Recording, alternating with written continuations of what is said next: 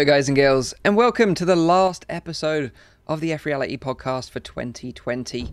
Grab your eggnog and a mince pie and relax as we discuss this week's top VR news. We're going to be talking about the Oculus Elite straps being available to buy again. We have some updates for Population 1 and Medal of Honor.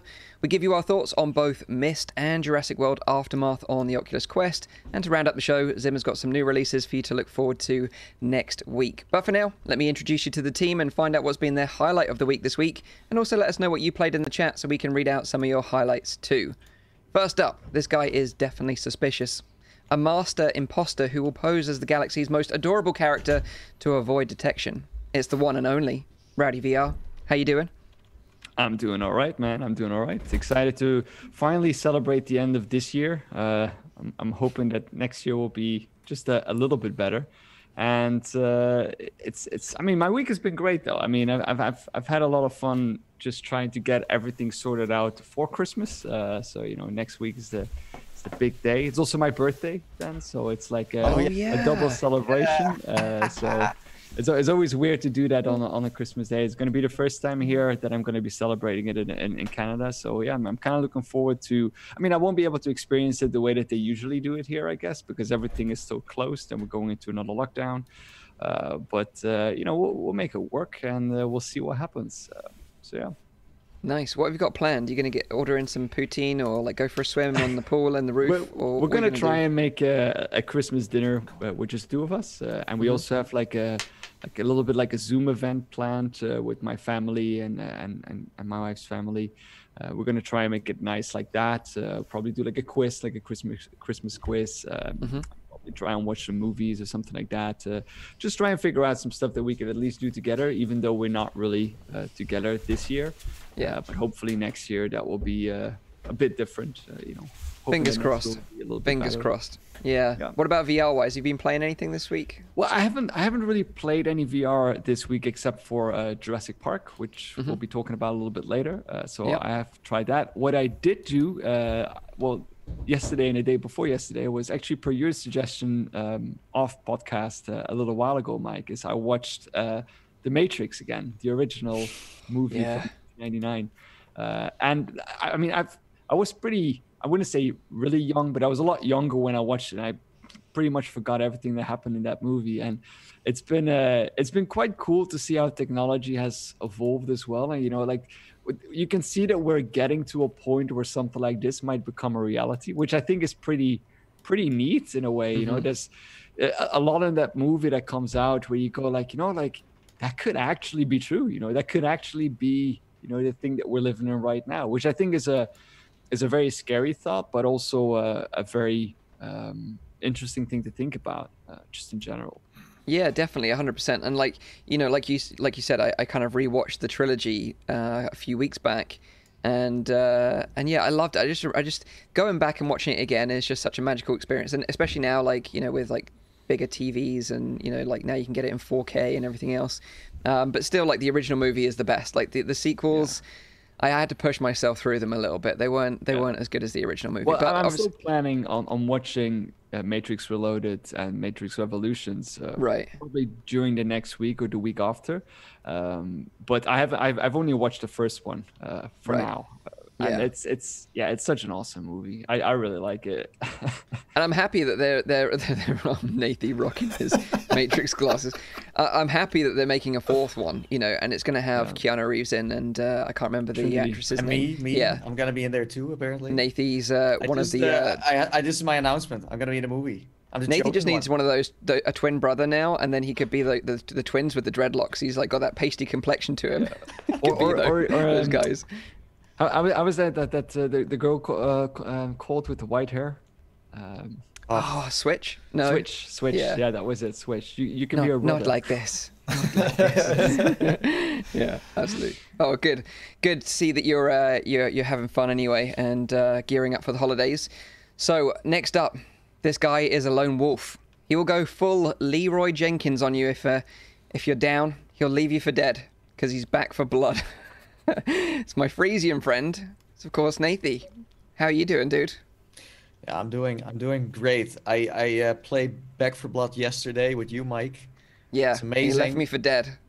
Yeah, I did. I did. Like I was like, this noob. Uh, sorry, you're a waste of my time. Uh, and And, then I he gets like, wrecked. Team wipe.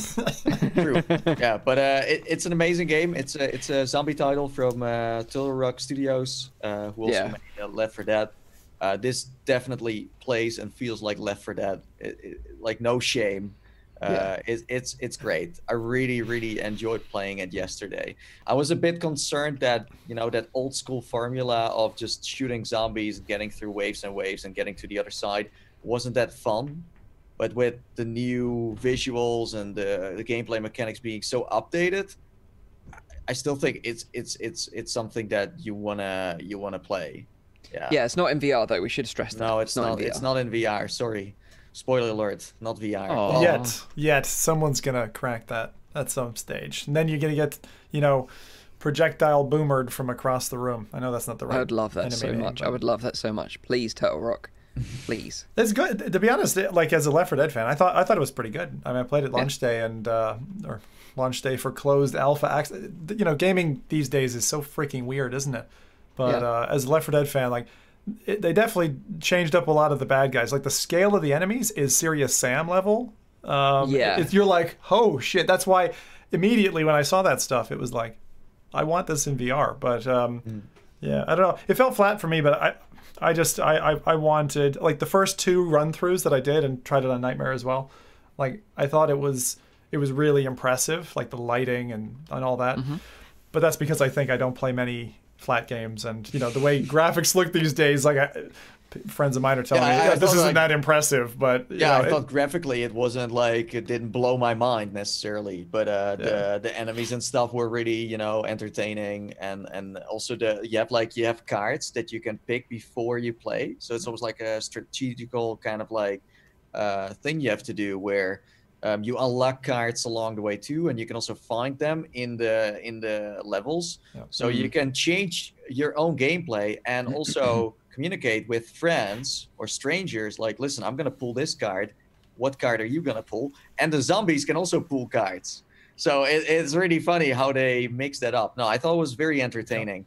Um, maybe i was just hungry for more pancake because i, I didn't think we got that much uh, vr uh, stuff this year that i just wanted some you know That card Mm-hmm. mechanic is weird. Like I, I definitely wasn't expecting it, and the fact I like the fact that they took the AI director from the original game and actually exposed the dice roll. Like it'll tell you what you're getting in the level you're about to play in terms of the really hard bad guys, the the add-ons that they get as it Yeah. as it goes on, and then you get that benefit as well. So it's neat. I found that bit a little bit overwhelming. Like, did you find you kind of gelled with the card system easily enough, or did you find it confusing at all? No, I liked it.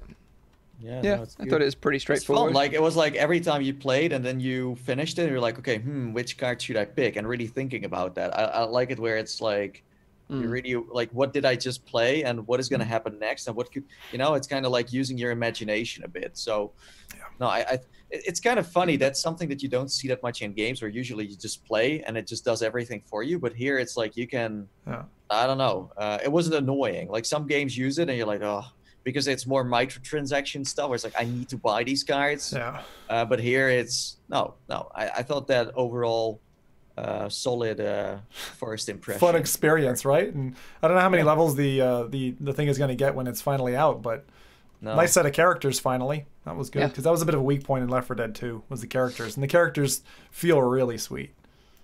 Anything you want to you played in VR that you want to share this week? Well, uh, just like Rowdy, I played, uh, you know, uh, Jurassic. So uh, that's Yep. something we're gonna talk about later.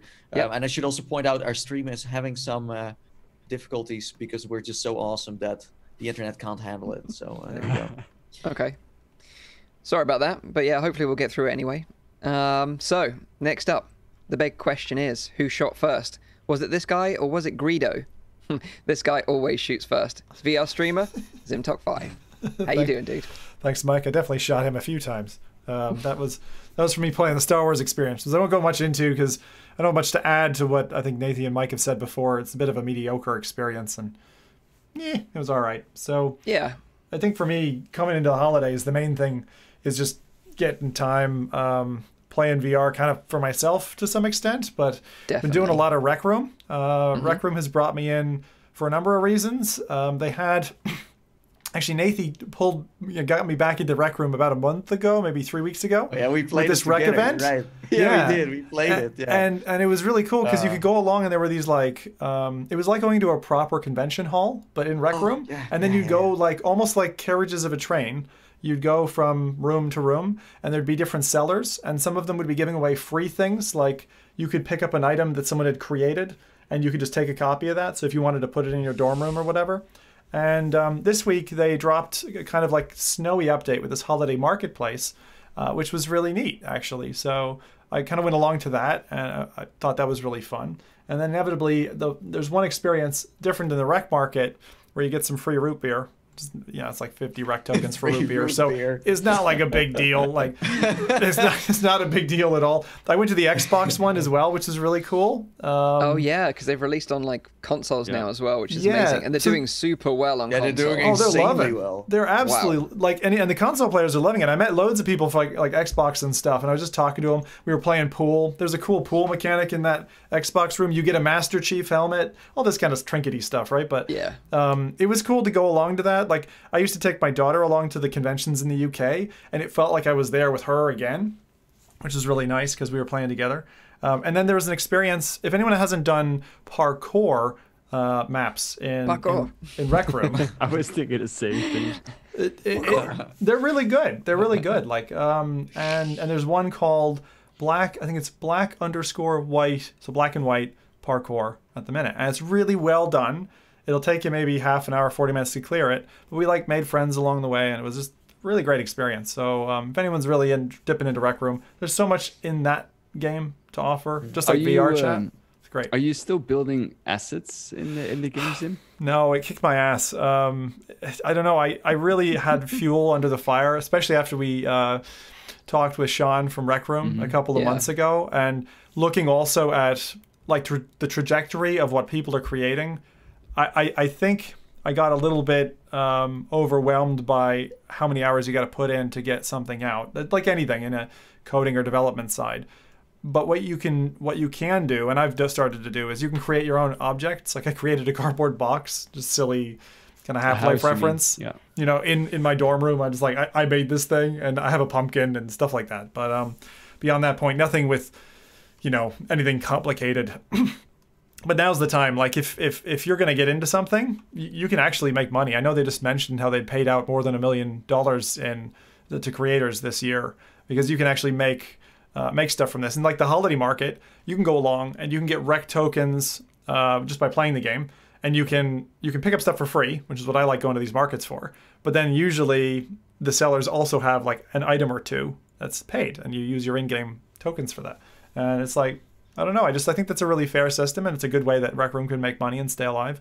Uh, but not just that, that their creators are incentivized, just like YouTubers are incentivized to create for its platform, mm-hmm. uh, to to yeah. put you know quality that's stuff correct. together. So I love it. It's a great strategy. ecosystem. Feels there is, there is someone like someone will be like doing it full time in maybe a year or two.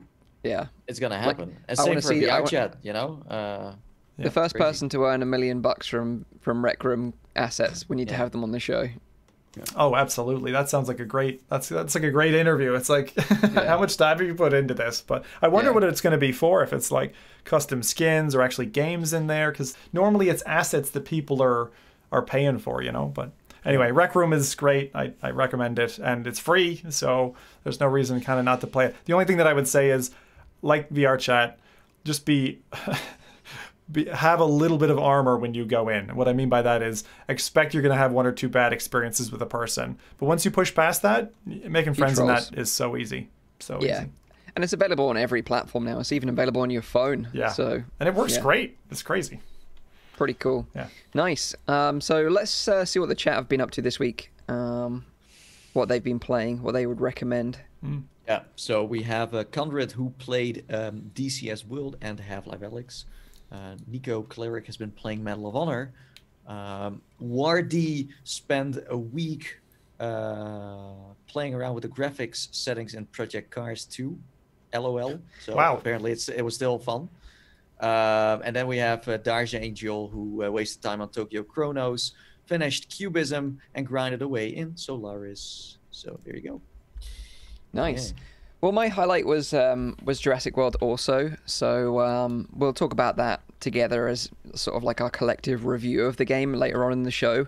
So let's jump straight into the news. Although before we get into the news, the one thing I need to do is remind you that, uh, of course, this is the last F Reality podcast of the year. We're going to be back yeah. uh, in the new year delivering you the freshest VR news uh, every Saturday, uh, starting from Saturday, the 2nd of January. So it's only one week we're going to be missing out, but I hope you understand. Mm. Um, also, uh, to sort of have a little send off, we're going to be hosting an F Reality Christmas party in Alt Space tonight after the show.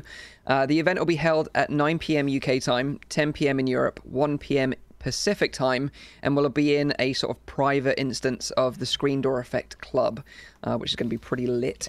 All you need to do to prepare, prepare for the event is to download the Altspace app, which is available for free on Quest and PC VR headsets via Oculus and Steam. Um, I think we've added the link to the event in the description of this live yeah. stream. So all you need to do is click on that link, uh, basically log in with your Altspace account, and then that'll be added. Uh, if you just click on the star or say that you're interested in going, it'll be in your sort of events page when you go into the app uh, later on. Uh, we'll be sharing the links again on Twitter and Facebook and maybe our YouTube community page uh, as well. So if you don't, if you miss it during the live stream, we'll post it again later on. So coolest uh, party of the year. Yeah, it'd be just cool if you can come and hang out with us. Um, you know, we've done this before, and it's been really fun to kind of meet some of uh, our audience and just kind of hang out for a bit and sort of chill. And I think it's going to be a lot of fun. So yeah, if you can make it, it'd be great to see you all there. It's cool club. Um, cool club. Yeah. So let's get into some news then, because the first bit of news we got this week is that the Oculus Quest 2 Elite strap and Elite battery strap are now back in stock on the official Oculus website. Uh, if you follow the podcast, you'll know that we've talked about this, uh, you know, a couple of months back. That basically Oculus pulled the Elite straps from their official store and like Amazon and other resellers uh, after numerous reports from consumers who experienced the strap arms breaking, even when they were being really careful with them. It seems like a some sort of manufacturing defect happened during the, the manufacturing process, which made them particularly weak. Um, but it seems like Oculus have investigated the issue, and in a statement to Upload VR, they said that there was a processing inconsistency with some early batches of the straps.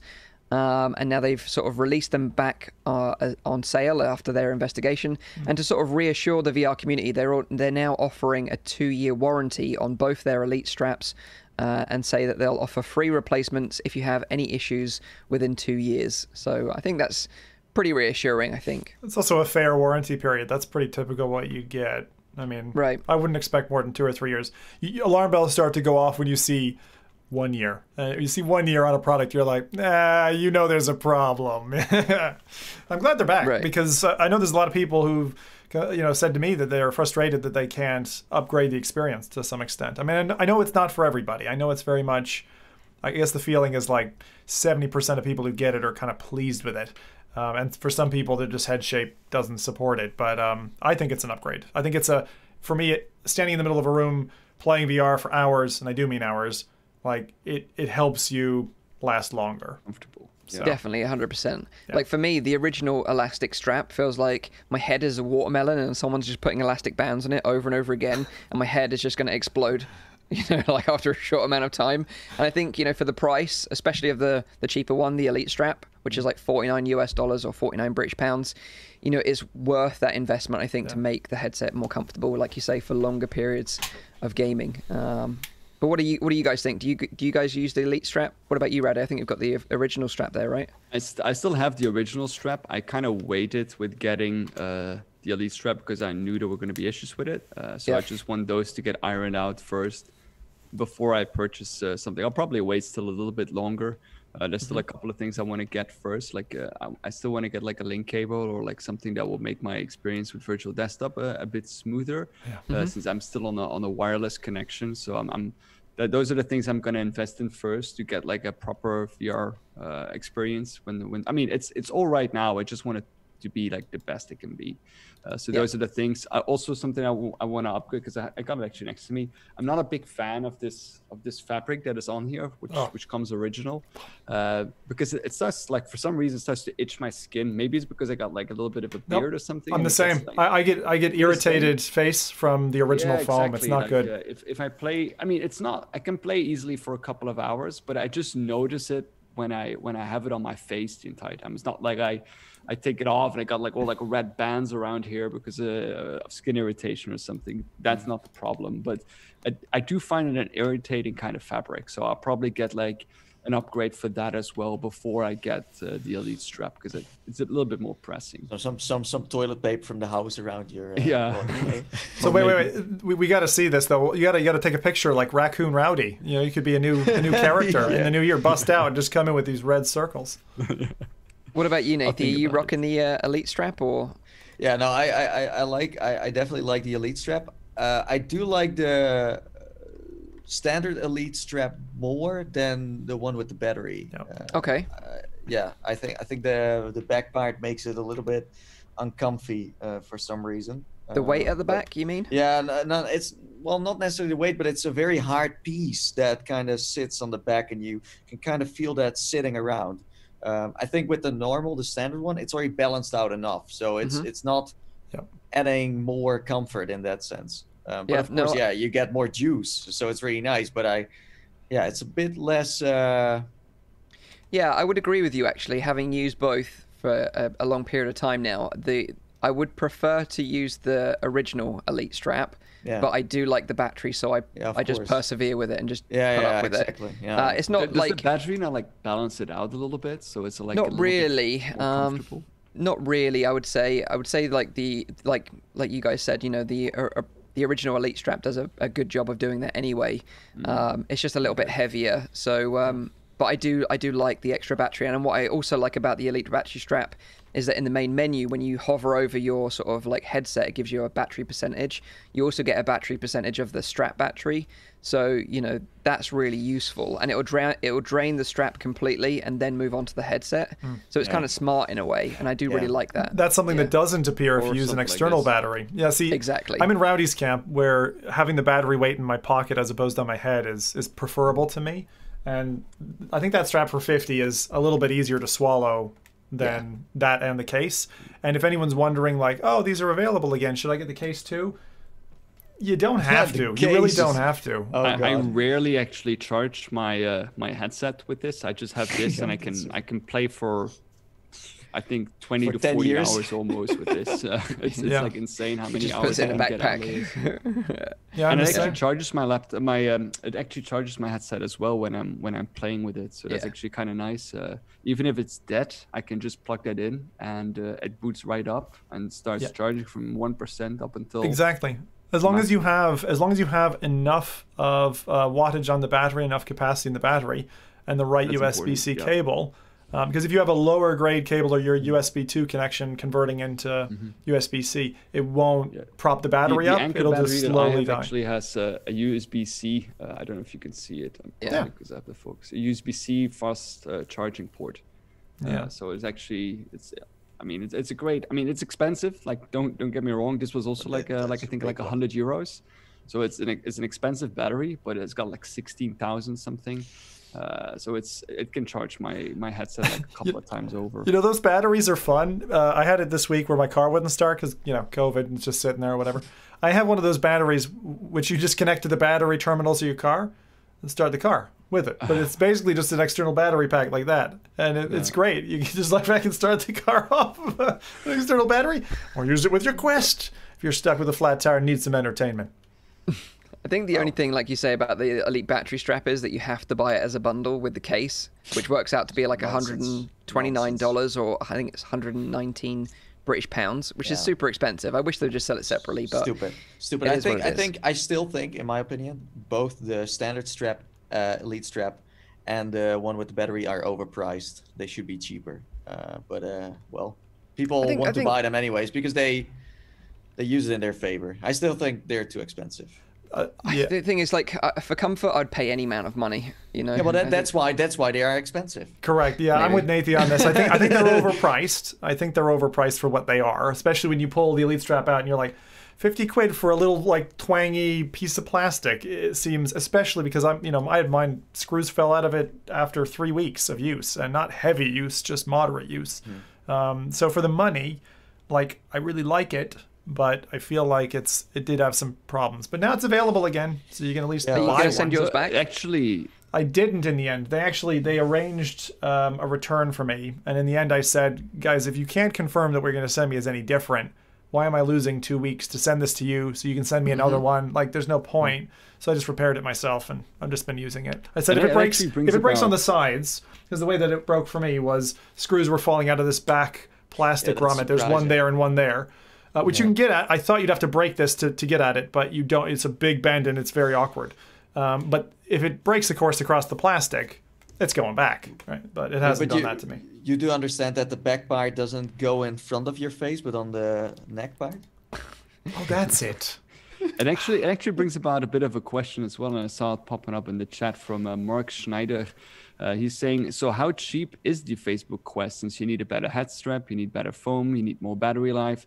Do you also need better grips for the controllers? You need a What is case apparently. price? Also, Six you hundred. need the It's six hundred all all in, in my opinion. 600. Yeah, but Yeah. but the, the question I think is, what which of these upgrades do you believe are essential? Do you think all of these are essential, like the better foam, the head I strap? think I think for me, like the two essential upgrades in my opinion are like a VR cover kit, which is like thirty bucks, Yep. and then the the elite ba- uh, the uh, normal elite strap, which is fifty bucks. I agree So you. you're, you're you're spending a little bit less than the original price of the Quest to get a super comfy headset. Those when I gave my first early impressions from the headset, is that I kind of felt that those should have been included.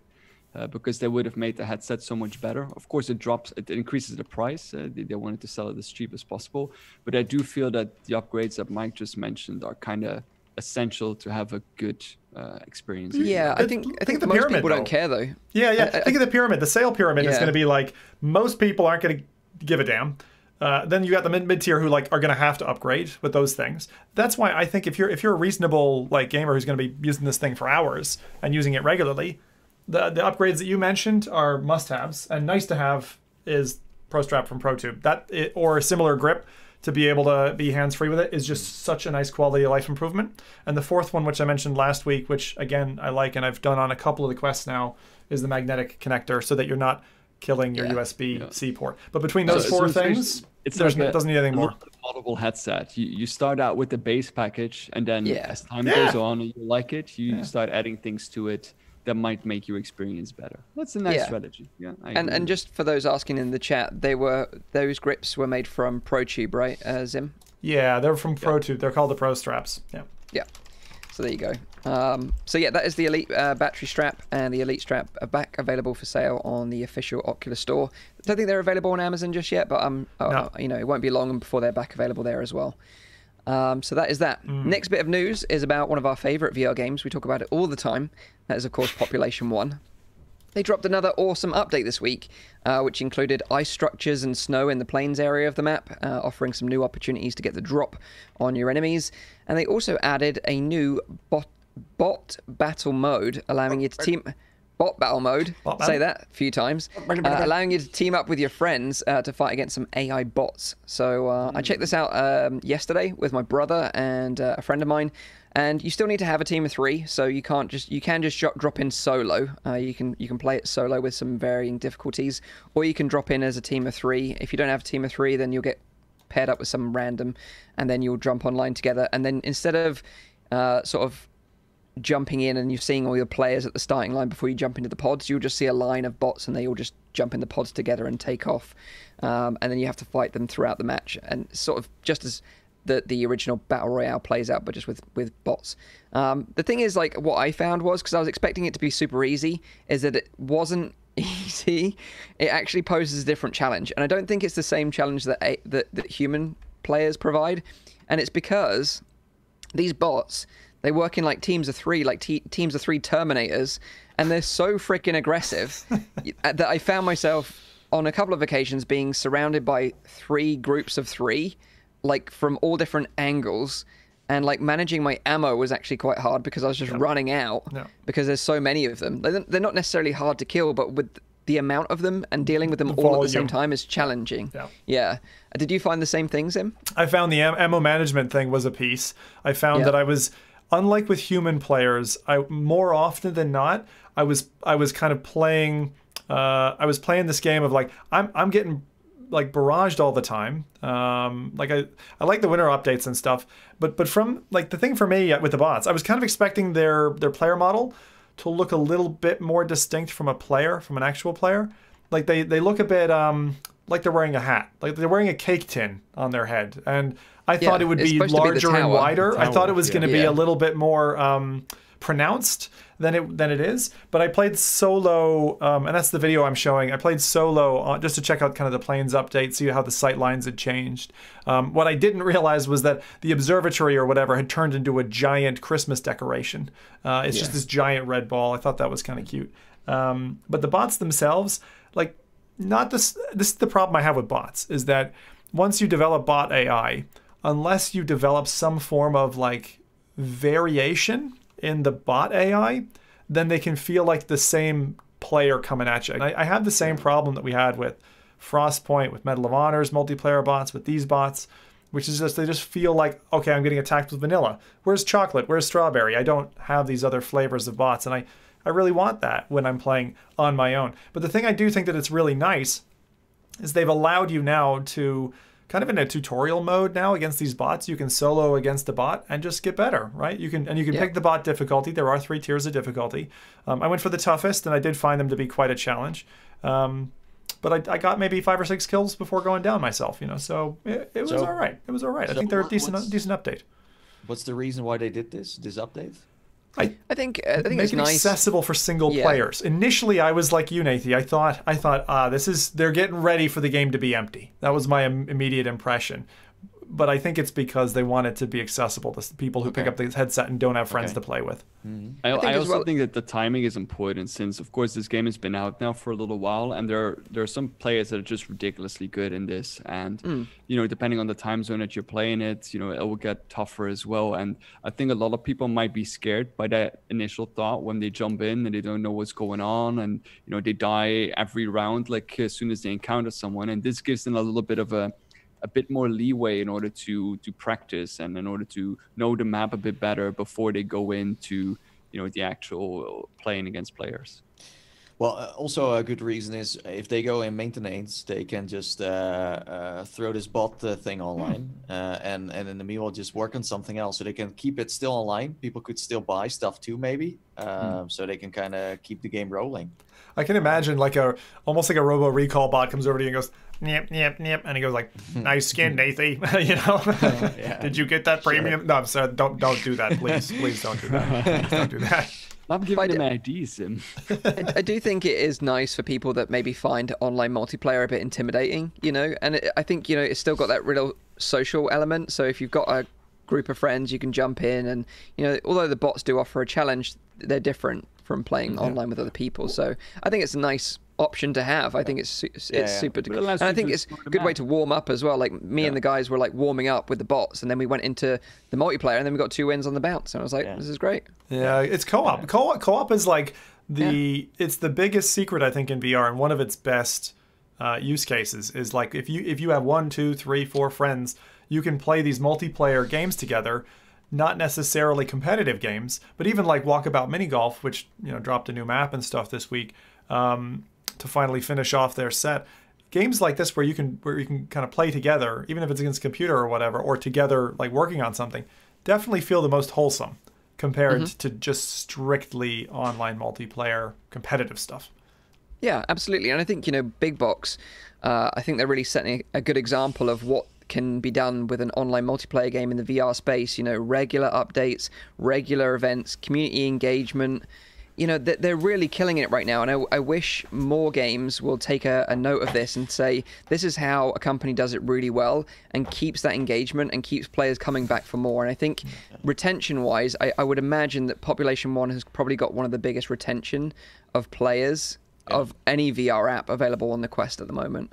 Yeah, I'm curious how it's going to push you through next year um, because I, I do think they will have some challenges getting people back. Right now, they still have a lot of room to do new stuff, but there will be a moment where you have to kind of think even more creative than you did before. Yeah, well, I, think I think the obvious mode is like this the, the the one mode, right, where it's you versus a, a whole map and it's just one player wins. And Solo that's battle gonna, royale. And I, I I think that will when it starts to stagnate, they'll drop that Yeah, and then yeah, it'll. So take off kind again. of waiting yeah, things out. I think yeah. so. I well, think so. well. I got to be honest. Like Make Pop, Pop One for me, it was it was cocaine in the first couple of weeks, but now I'm.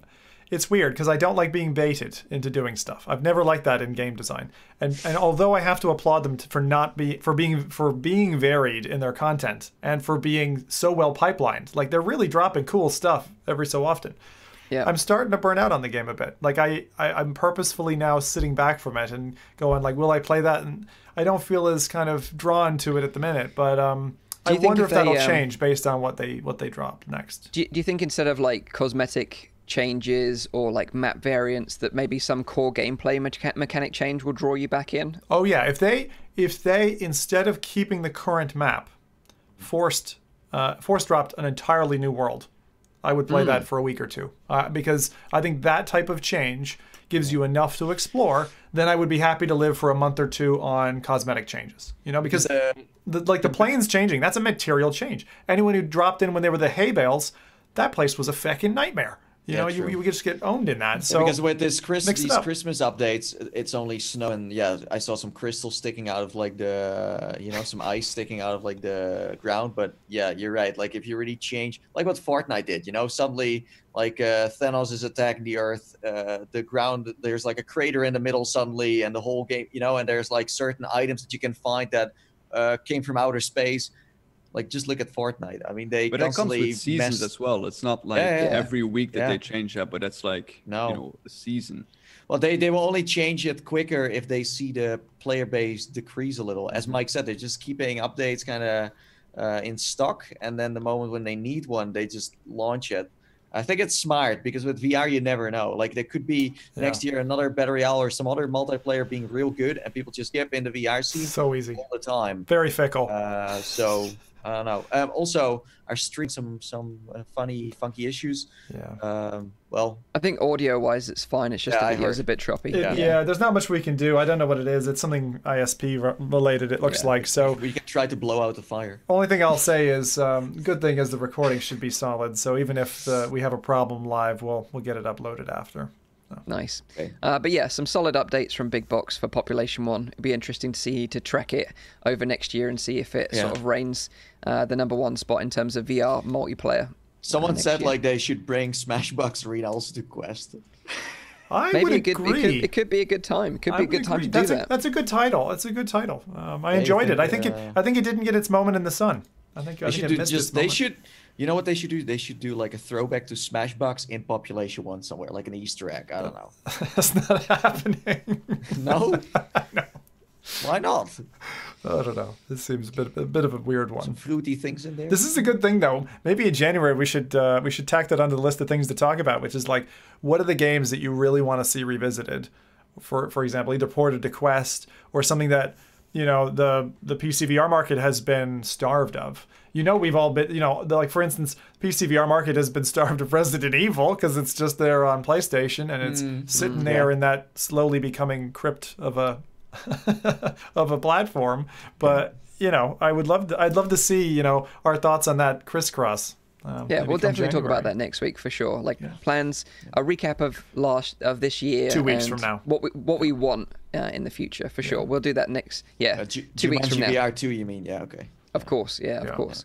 Um, but of course, Population One wasn't the only VR game to get updates uh, this week. We also got some updates to Medal of Honor, and it's interesting because they were addressing some of the issues we talked about on last week's show. Uh, Yeah. And Respawn has pushed out two updates since then, which is pretty commendable, I think. Um, and I've got a sort of list of some of the the highlights from these uh, updates. They've added uh, smooth turning, They've removed the victory screen from every level now, so it now just shows on the completion of the six main missions, which is good. Uh, weapon pickups have been made more accurate in the shooting range, so when you go go to grab a weapon, it's more accurate because that was a little bit off for some bizarre reason. Very frustrating that bit. Yeah, yeah. All the gallery content is now unlocked from the very beginning of the game, so you don't have to unlock it throughout your progress, which is also pretty good if you just want to sit through it, get a feeling of like the kind of like stories from these World War uh, veterans. Do you um, still think that that could have been like optional, where someone's like, I do want to unlock that, and you can just choose between the two? Because I still think it it kind of has something interesting to yeah, that to be able I'm, to that's unlock very... those parts because the the 360s and certain video parts they matched the missions so i thought it was kind of cool to have that i don't know but yeah. uh you know like i'm totally option yeah, i'm totally with you on that nathan i i think they should further tweak that and allow the option if you want to be unlocking that content i lock it away for me you know um, I would I would opt for that. I would opt for that because I, I, like that feeling of progress. I know it's a little bit odd. Uh, it doesn't really have a parallel with other games, yeah. but I, I, yeah I would be someone who would use that toggle. Yeah. Okay, interesting. Yeah. Um, they've also made the M1 Garand ping louder, which is great. Fucking love uh, that. something we complained about. Um, they've added more graphical options, so you can tweak the settings to get the most out of the game if you're not running on like the most optimal hardware. Uh, Even they, if that... you do run on the optimal hardware, uh, it's also yeah. But I was gonna say like that. That of all the updates that they've released so far, control certain features on a switchboard yeah. for your graphical settings. So you have some control over the performance of the game and can tinker with it. Is the but best update like, that they've released. That, but so that should be standard. Like they're like this is one of those rare opportunities where you get like to choose three settings, and it's freaking strange. Oh. Uh, usually that's normal, right? Where you just pick different graphical settings. Yeah. So Okay. Well, that is that. They've also yeah. removed star ranks for em- for enemies. Uh, they're turned off by default now. Um, and I, I always thought it was kind of a strange design choice, yeah. especially if they're going for like an authentic World War II experience that enemies have like stars above their heads. Um, so I'm glad that they've turned that off by There's default. There's another game, uh, Phantom Covert Ops, I think, does that, where you can see above the heads of the enemy like how difficult they are. Mm-hmm. Um, I disabled it. I think most immersion seekers yeah. would disable it. I'm wondering, yeah. I don't remember if at the start of the game I opted into, if they've got analytics in the game, they might have already seen that, like, oh, 55% of players are opting this off. Turning so it off anyway. They yeah. changed, yeah, they just changed I, the setting. I honestly never felt like one uh, soldier was better than the other even with, with or without. It was like no. the same thing. So I don't know what that even means, man. Yeah, that's true. That's true. um, they've now toggled arm sleeves, and they hide them now when they're close to players' eye, uh, eyes, aiming down the sights of guns, yeah. so okay. oh. they don't get into your way. Because they were a little bit intrusive when you were using some weapons. Mm. Um, they're adding 3D scopes in the future. They've said that that is coming, which oh. is really nice. So they're getting rid of that kind of like flat scope, whole sort of peripheral view thing and they're moving on to 3D scopes, which is going to be great, I think, Can't in a future update. Um, and like, I think with all this stuff, it's kind of nice, you know, stuff to add to the game. Nothing yeah. sort of game changing, really. No. I think, it's you know, all, like like these are all very small tweaks. I don't know yeah. if go for the big stuff. I well, I, you know, I think I'm, I'm grateful that these uh, updates have been added because I, I honestly thought that the post-launch support would be limited from Respawn, having seen how Insomniac handled Stormland in the past. So mm. I'm surprised and pleasantly yeah. surprised. I'm very grateful that we have got these updates. They uh, address actually the most critical issues that we've had yeah. with the game with this update.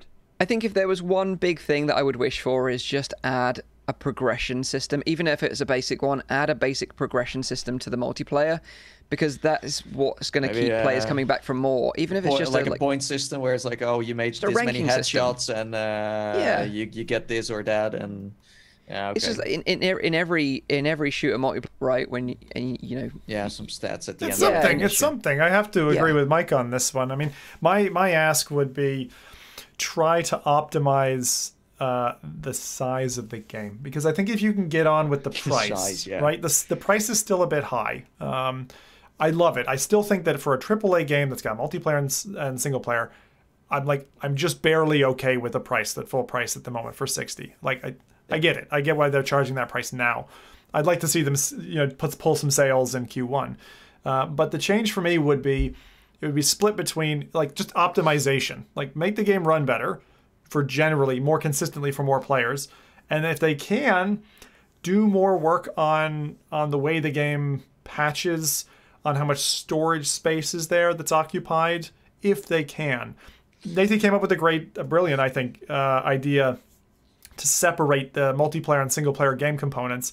I mm-hmm. honestly think that if they take a very hard look at that, they could actually end up with people starting on multiplayer, really enjoying it, and that, you know, say release multiplayer for 20, 20 bucks, and then go on to the single player for 40. And I think then yeah. it partly yeah. justifies the higher cost. It gives people a ladder to mm-hmm. step through if if it's even possible. I don't know how viable that is in a multiplayer I also game. wonder. I also wonder how much of that price is actually the gallery content, since I actually care very less about that section of the game. Yeah. Uh, well, I do know that the production of that is really high value, and there must be some associated cost with that. But and I wonder if that would have been removed from the game, like yeah. how much how much less size would it be in the first place? Because I think that the game would be a lot smaller uh, if you removed that uh, that high quality 4K content from it. And second of all, could it push the price down? Yeah. I think they, they I think they can associate it directly with the game. I think they can definitely shave off some gigabytes because uh, it's it's definitely not optimized. But that, as I said, is the big stuff. That is gonna take some work, it some money. Work. I don't know yeah. if that money is still there uh, to be optimizing the game to that level. Um, and the thing is, it's gonna drop in price anyways because I don't think it's sold that well. I don't think it's sold that so well. for for those for those who so for those who didn't catch the news around release day, the game originally required 340 gigabytes of free space to be That's able right. to get the game installed. Yeah, To, to install the game today is something shy of 180 gigabytes. So they That's actually right. managed to address that within the first week, which was great. This is what Mike's talking about. They're patching it like crazy for these quality of life improvements. You guys know I'm already smitten about the game, but I love that they're doing this.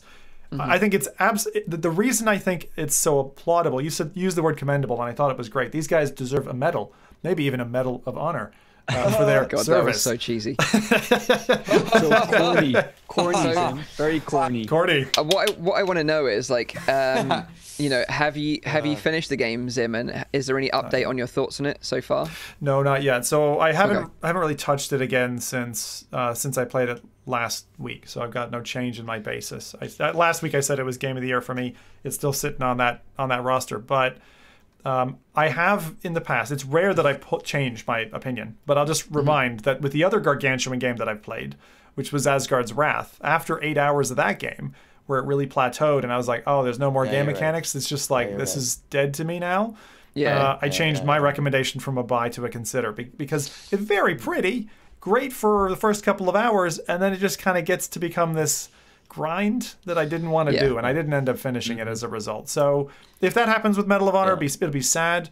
Um, but there's still the multiplayer, so I'm not expecting that to happen. We'll see. But we'll see. You'll, you'll probably be in a position to give your final update when we do our sort of recap of 2020 and give our game of the years and that kind of stuff in a couple of weeks' time. Unless, right? I, unless I get run over by a tank, Mike, that game's getting done in the next two weeks because cool. I'm off work okay. now.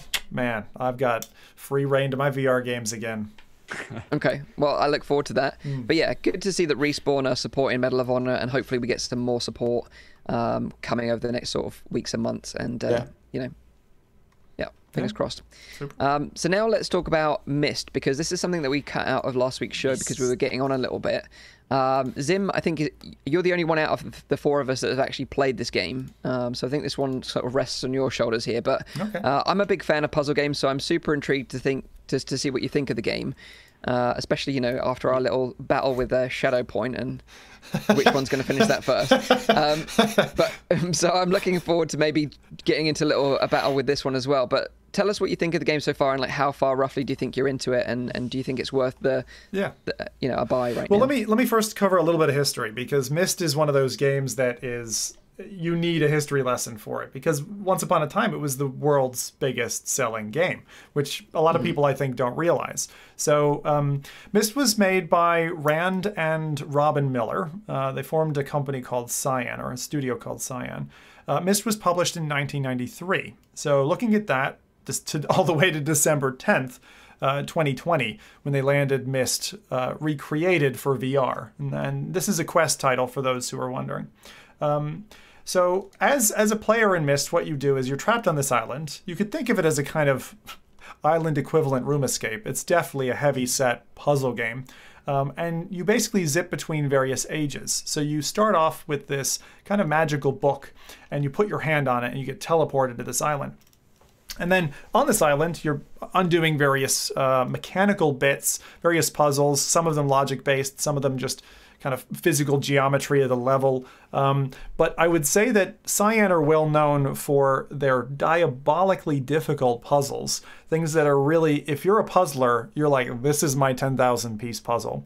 Um, the, the VR games that I've played of theirs are Obduction, which is a, quite a long, um, I'll say, flat experience that was VRified. Um, it's got some kind of weird looks to it, but it's an absolutely gorgeous a, game. solid port. Uh, solid port. Oh, it is right? a solid port. You if you feel the datedness of it, as in. Yeah, of course now, but like when when it got ported on what was CV one or uh, DK two. At least uh, CV1. Yeah, I don't know if it was as old uh, as DK2. Could be DK2 actually. Um, yeah. But I when I played it, like you'd have, you know, you, you interact with things with like a floating mouse cursor, kind of a floating yeah, dot, yeah, right? And and then you'd click it and it would do a thing, and it was just binary interactions. Um, but the but the levels were incredible, like they very very high detail. The puzzles were incredible. Uh, when the world would transform, it was was beautiful, and actually it brings a lot of that to Quest. Um, in Myst. um, and there's a bunch of games that came out between then and now that uh, that I just wanted to call it the names of, so you know its pedigree and kind of where it came from. So there was Myst in '93, Riven in '97, Myst 3 Exile. Obviously, they decided to put the Myst name back in because for sales purposes. In 2000, in 2001, uh, Uru Ages Beyond Myst in 2003. Uru. Uru. Uru. Uru. Myst 4 Revelation in 04, Myst 5 End of Ages in 05. I don't know why. Three, four, and five. Man, they just like right after the millennium, they're yeah. like, "Oh, world's world's going to shit. We got to quickly get these games out." And then inevitably, they did a, an online experience, and I have no idea what that was like. What online experience? What, like like you're on an island to escape together? Puzzling. All puzzling. Everyone puzzling. Very very confusing. So then you end up you end up with uh, this catalog of kind of five or six games that they've got, and then they decide we're going to VRify our original original experience for people who haven't done it. And this is nearly 28 years later. So this is Myst. Um, I think that's probably it. The only other thing I wanted to say is I'm going to ask you a question, a little bit of trivia. What dethroned Myst? So they sold 6 million copies worldwide, and then in 2002, a little game dethroned it. What game was that? 2002. 2002. Carmageddon. Carmageddon. Sim Sim City. What? Sorry, Mike. What did you say? Worms. Wasn't Worms. Uh, Nathie, what did you say? I, I said Sim City. I don't know. You are the closest to the bunch. Oh, I am. Yeah. Sims. Theme it's The Sims. The oh, Sims, Sims, with its okay. gazillion expansions, wow, came out and became the best-selling game Sims. globally. The first wow. The Sims. Yeah, exactly. Uh, so that's a little bit of trivia. Now let's get into the actual game and kind of my thoughts on it. So the I gave a little bit of a snap last week about this, but um, in short, you're plunked on this island. You have to solve puzzles. I found it to be the first thing I noticed was it, it's it's I wouldn't say it has the, the graphical fidelity of its PC counterparts. Um, having played Obduction, having played an alpha of Firmament, which is the next game on PC are working on, which is a very ambitious project. Um, this is definitely a strip down. It's what you can expect running on Quest. Um, still looks decent, but the world is largely static. And I was wondering if, because it was ported from such an early PC game if it would show. Um, and it, I would say it does. It the the, the you know fresh coat of paint isn't enough to co- totally cover up the fact that this is uh, a game from nearly 30 years ago. But they do a pretty decent job, and I would say people who are new to it will probably just think, "Oh, this is made from like an indie studio." Um, the puzzles are good. Some of them are, are, are absolutely maddening, and you, and you will be kicking yourself over it. Stuff like oh, I didn't think to look up in a particular section, or um, I didn't think to turn this lever back the other way. Um, mm. Those kinds of things that happen. But the fact that the the physical environment around you is modified and updated when you solve a puzzle feels great. And I know there's a lot of people who would have done this, and for our uh, more aged listeners uh, who went through the original Myst and were old enough at the time to actually beat the game, I suppose my only concern is the core gameplay is about the same, but they do have a feature that allows you to randomize the puzzles. And that means that there is some uh, nature of let's say uncertainty in what you're going to need to unlock next. And that's mm-hmm. also good if you're going to broadcast the game or play it with an audience because then they don't know for sure what the puzzle is that you're going to have to solve next and it's not just like a lead me by the nose to the experience. Mm-hmm. Um, all in all, I think it's a game to consider. I think it's uh it's if you're a puzzler, I think you'll enjoy it. Um, I thought that a lot of the visuals in the game, you'll notice on the main island, just as you walk up, there's these like beautiful grills. Uh, feels very like um, feels very like like uh, um, Fallout VR in certain places, like hmm. glowing mm. with an amber hue, almost like um, I don't know how we call it, but radioactive. Not radioactive. Um, it, it, it, was it was it was this popular thing in burger joints for a while. Those like old tubes, the like orange or amber colored tubes, that lighting. Like neon not not as bright as neon. It's like uh anyway, lighting. That's that's wow, that's nice. Wow. But so how is the mist? Is, how is the mist in VR? This is the thing. Like there isn't a lot. there isn't There's a lot, lot of, of fog in the levels that I've played. I've played two or three so far. Like you, I know from the trailer you get into like a forest level. I think you go into the future at some stage. I don't know what's oh, what's to, to come. But um, but it doesn't have anything to do with mist, right? It, that that's just that's just a joke that we're doing, right? Because isn't yeah, the island has that doesn't have like a particular name or something? That's because it's spelled M Y S T, right? M Y S T. I, I don't know where the name Myst originates. I didn't see that I mean, in any. I, I myself, I'm I haven't played it back in the day just because I. I'm not really a puzzler. I think I don't think I have the patience for this. I think there are three puzzle games that I ever played and really enjoyed. That was The Longest Journey, Ooh, uh, Gray nice. Matter, and uh, Escape from Monkey Island. Ah, Escape uh, from great. Monkey Island. Yes, yeah, it's yeah, amazing. Yeah. Oh yeah, baby. I think those are the ones, the only ones that I oh. enjoy. And those are really low skill uh, puzzles. Low skill. like you don't need to think that hard in order to solve the puzzles. Monkey I'm so glad you said Monkey Island. I want Monkey Island in VR. They did a, a pretty awful 3D version on Steam some years ago. It was not up to par with the previous. They games. should make more EyeToy games. Yeah. so that's it, in a, to... that's it in a nutshell, I'd say, Mike. I mean, so you how, didn't get a chance you... this week to play it at all, yeah? No, okay. no. With everything happening, Medal of Honor and Jurassic World, I haven't played it at all, but I am looking forward to it. I have it installed on the Quest, ready to go, so I'm looking forward to checking that over the next uh, couple of weeks. How far do you think you're into it so so far? I don't know. Uh, the thing is, I played Obduction, man, and I thought I was like, I gotta be done with Obduction and it's the kind of game where you have to look up you know guides to even get past certain bits. And i was like shit i have like at least 25 hours left. So i have no idea. I'd imagine wow. like if i was guessing i'd say i'm a quarter into the game and i've played it what two hours? So yeah. i think it's probably think... got six to eight hours in it. And this is a guess. This is a guess. And you think it's more challenging than uh, like the room vr in terms of puzzle design? The I would say it's a little bit more antiquated in terms of its puzzle design than the room. The room feels like a design for VR experience. This feels like this this feels like an an indie project that I would like. I'll just call it that. So it's not like okay. bare bones of like, oh, they just slapped VR on top of an old game. It does feel like a you're it's worth the money uh, to, to, to, to, to play for it. But like uh, like Mike alluded to at the start in our little shadow shadow point race, which he won by at least a few months. I'm hoping that won't turn into a few years. Few months. Uh, there was a there was a puzzle called the Pendulum in Shadowpoint, uh, which is an amazing game. Um, and and I'm still stuck on that one puzzle. I've beaten everything else, and I can't beat the game.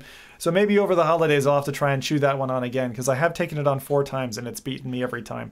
Um, so just apparently, like um, apparently the name Myst, yeah. uh, according to Onikaze in the chat, comes from the Jules Verne novel the Mysterious Island. Ah, Mysterious Island. Oh, okay. Oh, and that's okay. why it's M Y S T as opposed to M I S T. I guess hmm, so. Good to know. But yeah, I think if you're a puzzler, you'll like it. Go for it. If you're not, if you're a Quest 1 owner, be careful. Because on Quest 2, the performance, and this is my main bugbear with the game, is in certain places it chugs. Um, and I don't see that a lot on the Oculus Home Store apps that oh. chug.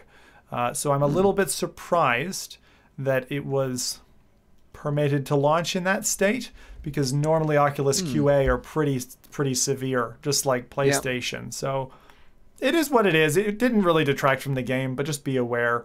Like like VR Chat or Rec Room when those first launched, and they had rooms where you it would literally like you know hammer Yeah, yeah. hammer through it, it would chug a fair bit. Yeah, but it's rare for that. single player to have to for that to happen. Very rare. As you said, it's multiplayer. That uh, Yeah. So you think Myst has enough leverage for people who are not familiar with Myst, or let's say, like old like puzzle games in general, that Hmm. they would be buying this? I, I I think there's probably not enough puzzlers for people to chew through. If you bought a quest and you've gone through, Yeah. you know, There aren't that gadgeteer in the in the room and Red and I expect Matter you to die and all that kind of Yeah. stuff, you'd Yeah. happily settle and play this one over a weekend. Many. No, you're right. Yeah, it's been I- a while ago. Like a new one came out, and also hardcore, where you really get to only do puzzling. Yeah. That's rare. And and the other thing is like for people of my generation, and I'm 35, I used to ogle on this box on the shelf. It was like the mysterious game that I always wanted. I remember looking at the Riven box and being like, "Ah, damn, look at those graphics." So if you're from that era and you didn't get a chance to play it, uh, play this. I think if you already played Myst, I I do wonder if if this is so. If anyone in chat has played the original Myst and the VR one, I'd love to hear your feedback in chat to say, yeah, you know, do it again. There's enough variation because if it's just the same puzzles again and you can just breeze through it, then you might walk away disappointed. But Cyan are definitely a studio to keep an eye on. I'm still got my eye on Firmament. Hopefully that will land for us next year. Um, Firmament. Oh but my god. Yeah. if you're going into this, I'm telling you, be warned. You got to be a puzzler because these are It's been 84 hard games. I, I know I'm not because I, every time I play a game like that and I can't solve the puzzle in the next five minutes, I'm like convinced that the game is bugged. That's it's it's not me. It's the it's definitely the game because this should work. Never. This comes from the scientist as well. yeah, exactly. I, d- I don't have Rowdy, patience Rowdy, Rowdy is like, Rowdy's like Jimmy Neutron. There's like an acorn in his head.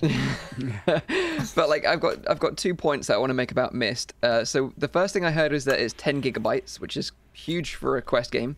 Uh, I think uh, it's only topped by what The Walking Dead: Saints and Sinners, which is 12 gigabytes. yeah, for the moment. Um, so For quite a big game. Uh, I also heard, and I don't know if this is true or not, but there's an update coming where you can make notes, Yes. um, which will make the game easier and less of a slog.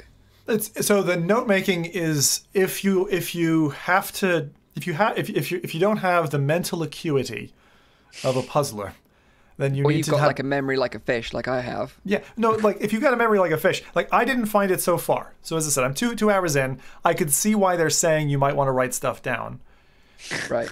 but I didn't need to. But if they Um, say that, that that's enough. That's like that's that's a sign, man. Like It's yeah. that's where I'm where that's where I can't play this game. If they Yeah, say you need where a I paper, like I, I I- I can't remember like three things at the same time. So I'm, I got I'm a out. I'm my out. I'm noping out here. You do it in my spare time. I love it. Yeah, it's like, but like those kinds of games, it's weird. It's like this challenge bar has ascended from the heavens or descended from the heavens, and it's beckoning to me like a siren on the rocks. It's like, come on, Zim. You know you want to try and, and complete this. I never beat Obduction for the same reason. It's just too difficult. And the thing is, there's a there's a piece of the gamer in me that takes a kick to the balls every time I got to go look up a guide website, right? A- And, and that's the same thing here, I'm sure. So, I, So- I want to know where you get stuck, Mike, when you play it, because Yeah. fucking hell, there's a part that I got stuck on, and if chat didn't help me out, there's no way I was gonna. Mike, I was Mike gonna there gets hours. stuck in the starting screen where he has to do the settings. Uh, Wait a Mike minute, I, I completed piss- Shadow Point and Yeah, I completed the exactly. Room VR. Oh, Oh, okay, next okay. next podcast, Mike is gonna come on. Oh yeah, I finished it in two hours. Smashed it. Yeah. yeah, imagine. Jeffrey Jeffrey Goodman in the chat says, uh, "I suggest keeping a pad nearby. There are a few places where the notes really help, and he's finished it. So Oh, oh! If Jeffrey finished it, I don't know. Well, that's cheating. I'm playing with No, no, don't worry. on, like- Jeff knows what's up. Yeah. we know Yeah. tall guys are just smarter, so that's not fair. Yeah. yeah, I'm tiny. Oh, okay, well, Well, that is Myst. Um, yeah, I'm looking forward to playing that over the next couple of weeks, and obviously we'll update you with uh, my thoughts on that. But uh, very promising so far. Uh, it sounds like a you know it's a classic adventure game, you know, Classic. adventure puzzle. So if if you're sort of of that era, then you'll get some nostalgia out of it as well, which is also very nice. Um, so now let's talk about Jurassic World Aftermath. Um, I think three of us have played it this week. Zim hasn't. Am I right? I can say I played it for two minutes, but not more than that. So minutes. I don't count. Okay. So we'll- okay. we'll- First, let's first do the two-minute review from Zim. how, two was, how were the first two minutes? Oh man, there was an object that I could pick up. There was a radio going with some beautiful sounds, and then something happened to the plane, and that's when I noped out. Okay. Okay, fair enough. Wow. We'll we'll try and avoid uh, spoilers. So you know, if you want to go and enjoy the game, then you, you know you're welcome to. But we will be talking about game length. Um, so if that's a spoiler for you, bear that in mind. Yeah. Um, but let's just get into the basics because um, it released obviously this week as an Oculus Quest exclusive, so it's not available on Rift, which is a bit unusual. We've seen this in the past with some games, like Lies Beneath, for example. Uh, Yeah, was, true. was that was that exclusive to Quest as well? I think it didn't, didn't come to Rift. Am I right on the, with that one? Um, but there's been some examples anyway. But this is going to be purely on Quest. There's no plans to release it on Rift, which is a bit but you hear less and less people complain because there are less and less people. I, well, uh, the, the hardcore Rift community, I see them complain because they want more content to play, uh, Yeah. and it is a, it is an interesting looking game. You know, definitely the art style. Yeah. Um, but the the price wise, it's uh, twenty four ninety nine in US dollars, eighteen ninety nine in British pounds. Um, you know, we've been craving as a podcast, you know, a, a dinosaur game for such a long time, so we oh, finally got one, which is great. What was And the other one again, Rowdy? The the one where you were educate like getting an educational lesson on dinosaurs. You, I Was think it- you, mean just highlighted it. The general Jurassic World experience. No, it was like like a the blue one? dinosaur game that that came out this year where you you got like educational stuff. You could fly with dinosaurs and you could be a dinosaur and I don't know. It was like pretty immersive. Am I the only one who still remembers this? Okay. An This is what we've got. educational dinosaur experience. What was Yeah, that? Yeah. I don't know. It was like a super indie thing. We were just laughing about it. Nothing serious. you but, don't uh, mean oh no you you said came out this year. You don't mean that that one that came out entirely at the beginning with the time machine underwater, right? Uh, no, Time that's Machine. ancient. Great story, Nathan. Thanks for that. yeah, that sorry, sorry. I Appreciate ruined, I ruined the whole uh, start of this. Uh... Thank you. Okay. Uh, but we finally got a dinosaur game. We were all looking forward to a dinosaur game in VR, and we finally got one. And it's Jurassic Park, or well, Jurassic World at least. Um, developed by UK studio Coatsink um, and funded by Oculus. They're a great studio, um, so it's great to see them behind it. Um, some things. Let's talk about the art style because I think that's one standout thing about this game. I think you know, from a visual standpoint, I think they did a great job with it. It's kind of got this kind of cell shaded, cartoony, Borderlands style aesthetic to it, which I think works really well in VR. Some people weren't a big fan of it; they'd prefer a sort of more realistic vibe. But I think, bearing in mind this is exclusive to Quest, I think it's a great art style, and they sort of Smart. use it to their advantage. You know, for Yeah. performance reasons as well. Yeah.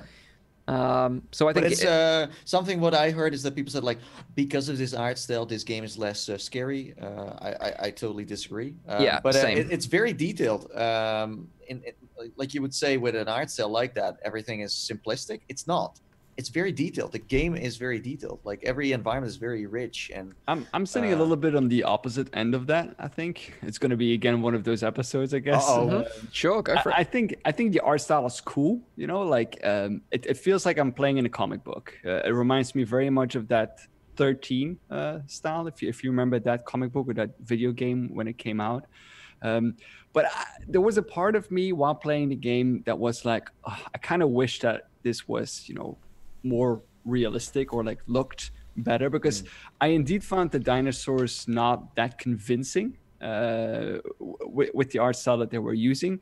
Uh, I don't know if that was because it was cell shaded or just the way that they were, you know, constructed. So I, I didn't find like the level of detail that I kind of wanted uh, in the dinosaurs. Um, but like I said, I've played for roughly, I'd say a maximum of two hours that I've played it. Uh, so I haven't, I haven't gone through the the entire thing yet. Um, but yeah, that, that was my, my first impression with the visual art style. Also, I when I heard the Jurassic Park or Jurassic World experience, I was expecting a bit more uh, a luscious environment, you know, greens and parks and uh, you know, in, like a Jurassic World. Um, but but it's all set in in in you know this this this center, right? A Uh, I don't know facility, if you, yeah. if you played the entire game in that facility. I haven't, like I said, I haven't played this game, but I I did feel the environment a little bit lacking. Like I was just rushing through the hallways and I didn't really stop on a lot of places to expect it because it didn't really pull me in in a certain way. Um, again, that might be the art style or that might be just the way that they, they constructed it. Uh, I liked the beginning intro, the stuff that, that Zim played. I liked that a lot. I was like, oh man, this is going to be so good. But then it, it kind of turned a bit dark for me. Like it was just dark, not a lot of color, very Uh, no, I agree. It's it's a very dark game. Like it starts off very colorful, but that Mhm. doesn't seem to come back that much later on. Uh, yeah, and, and, I, and I kind of regretted that because I, I was kind of like I've said it like already so many times on this in this podcast. What I really want is do like something like the monorail, like they have in Jurassic World or Jurassic mm-hmm. Park, where you sit in a car, you drive through the forest, and you you see these huge dinosaurs. That's the kind of experience that I'm still looking for in a in a in a dinosaur game, and I didn't get that with this. While I did feel like there was the potential to do that, especially because it kind of hinted towards that with that intro where you had the plane, you know, you were flying towards the island, and I was like, oh, you know, I'm gonna get like a little bit of a tour of this island before mm. you know stuff is gonna go down. But that's not mm-hmm. really what happens. No, it's it's it's like uh, as someone who's a who's a big fan of the movies, uh, it, it's not like they they give you everything that you desire in that sense. And if yeah, if you refer to uh, what was it again, Ark Survival, what was the name? Ark Survival right? Evolved. Ark, Ark, yeah. Mm-hmm. Um, but again, th- that that's a total different story. But yeah, visually, that's of course what you want to go for.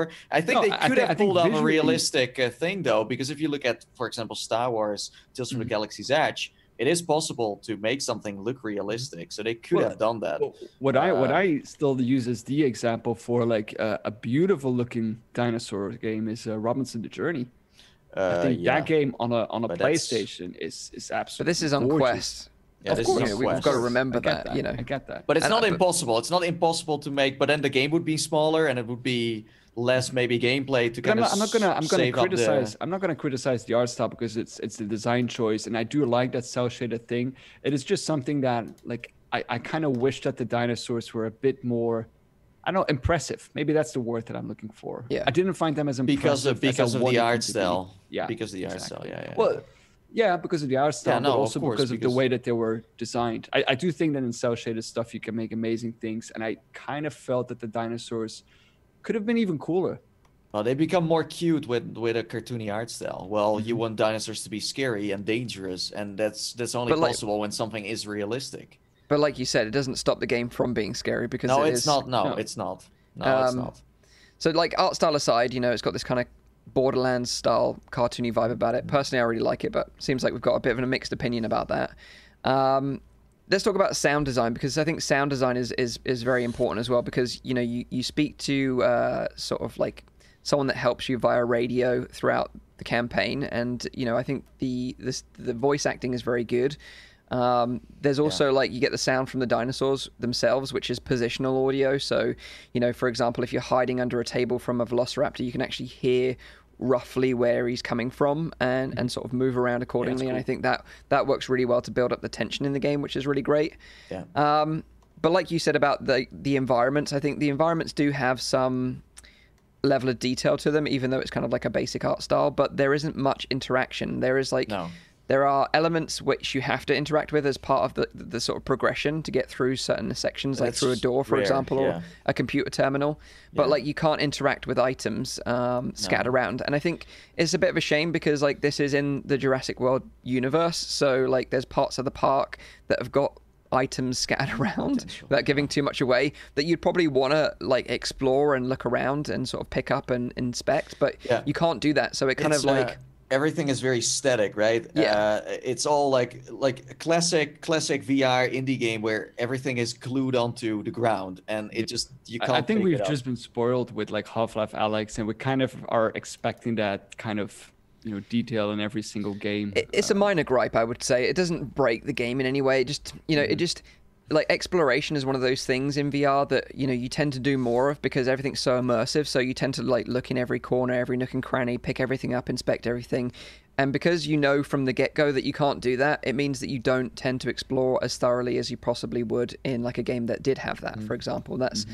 you know that would pad the game out a little bit more for those wanting to like Plus, you know, explore plus with interactivity that in that way you can also make it a part of the gameplay and you can use your environment in your favor and that's something yeah. that they missed out on that yeah. could have been interesting let's say you crawl through this one room and there is i don't know like um, a detection port that usually scans if you have like things in your pockets like knives and stuff and it suddenly starts beeping and you're like oh i activated it like there's nothing really in the environment that constantly you know get triggered or, or you can use uh, in, in that yeah or you could like throw like a, a mug from a table to distract exactly. uh, That's what a, you know a raptor or something yeah. exactly. Um but also so random things you know what i mean? Like you you uh, crawl somewhere and something falls off the table you're like oh i made a lot of noise now i need to yeah. run for my life. That's those kind of things are not present in this game. Yeah. But again you know like they've, they've streamlined the gameplay They've yeah, designed very... it a certain way, so I get it. It's just like a minor, like, oh, that would have been nice, but it's not a game-breaking no, thing.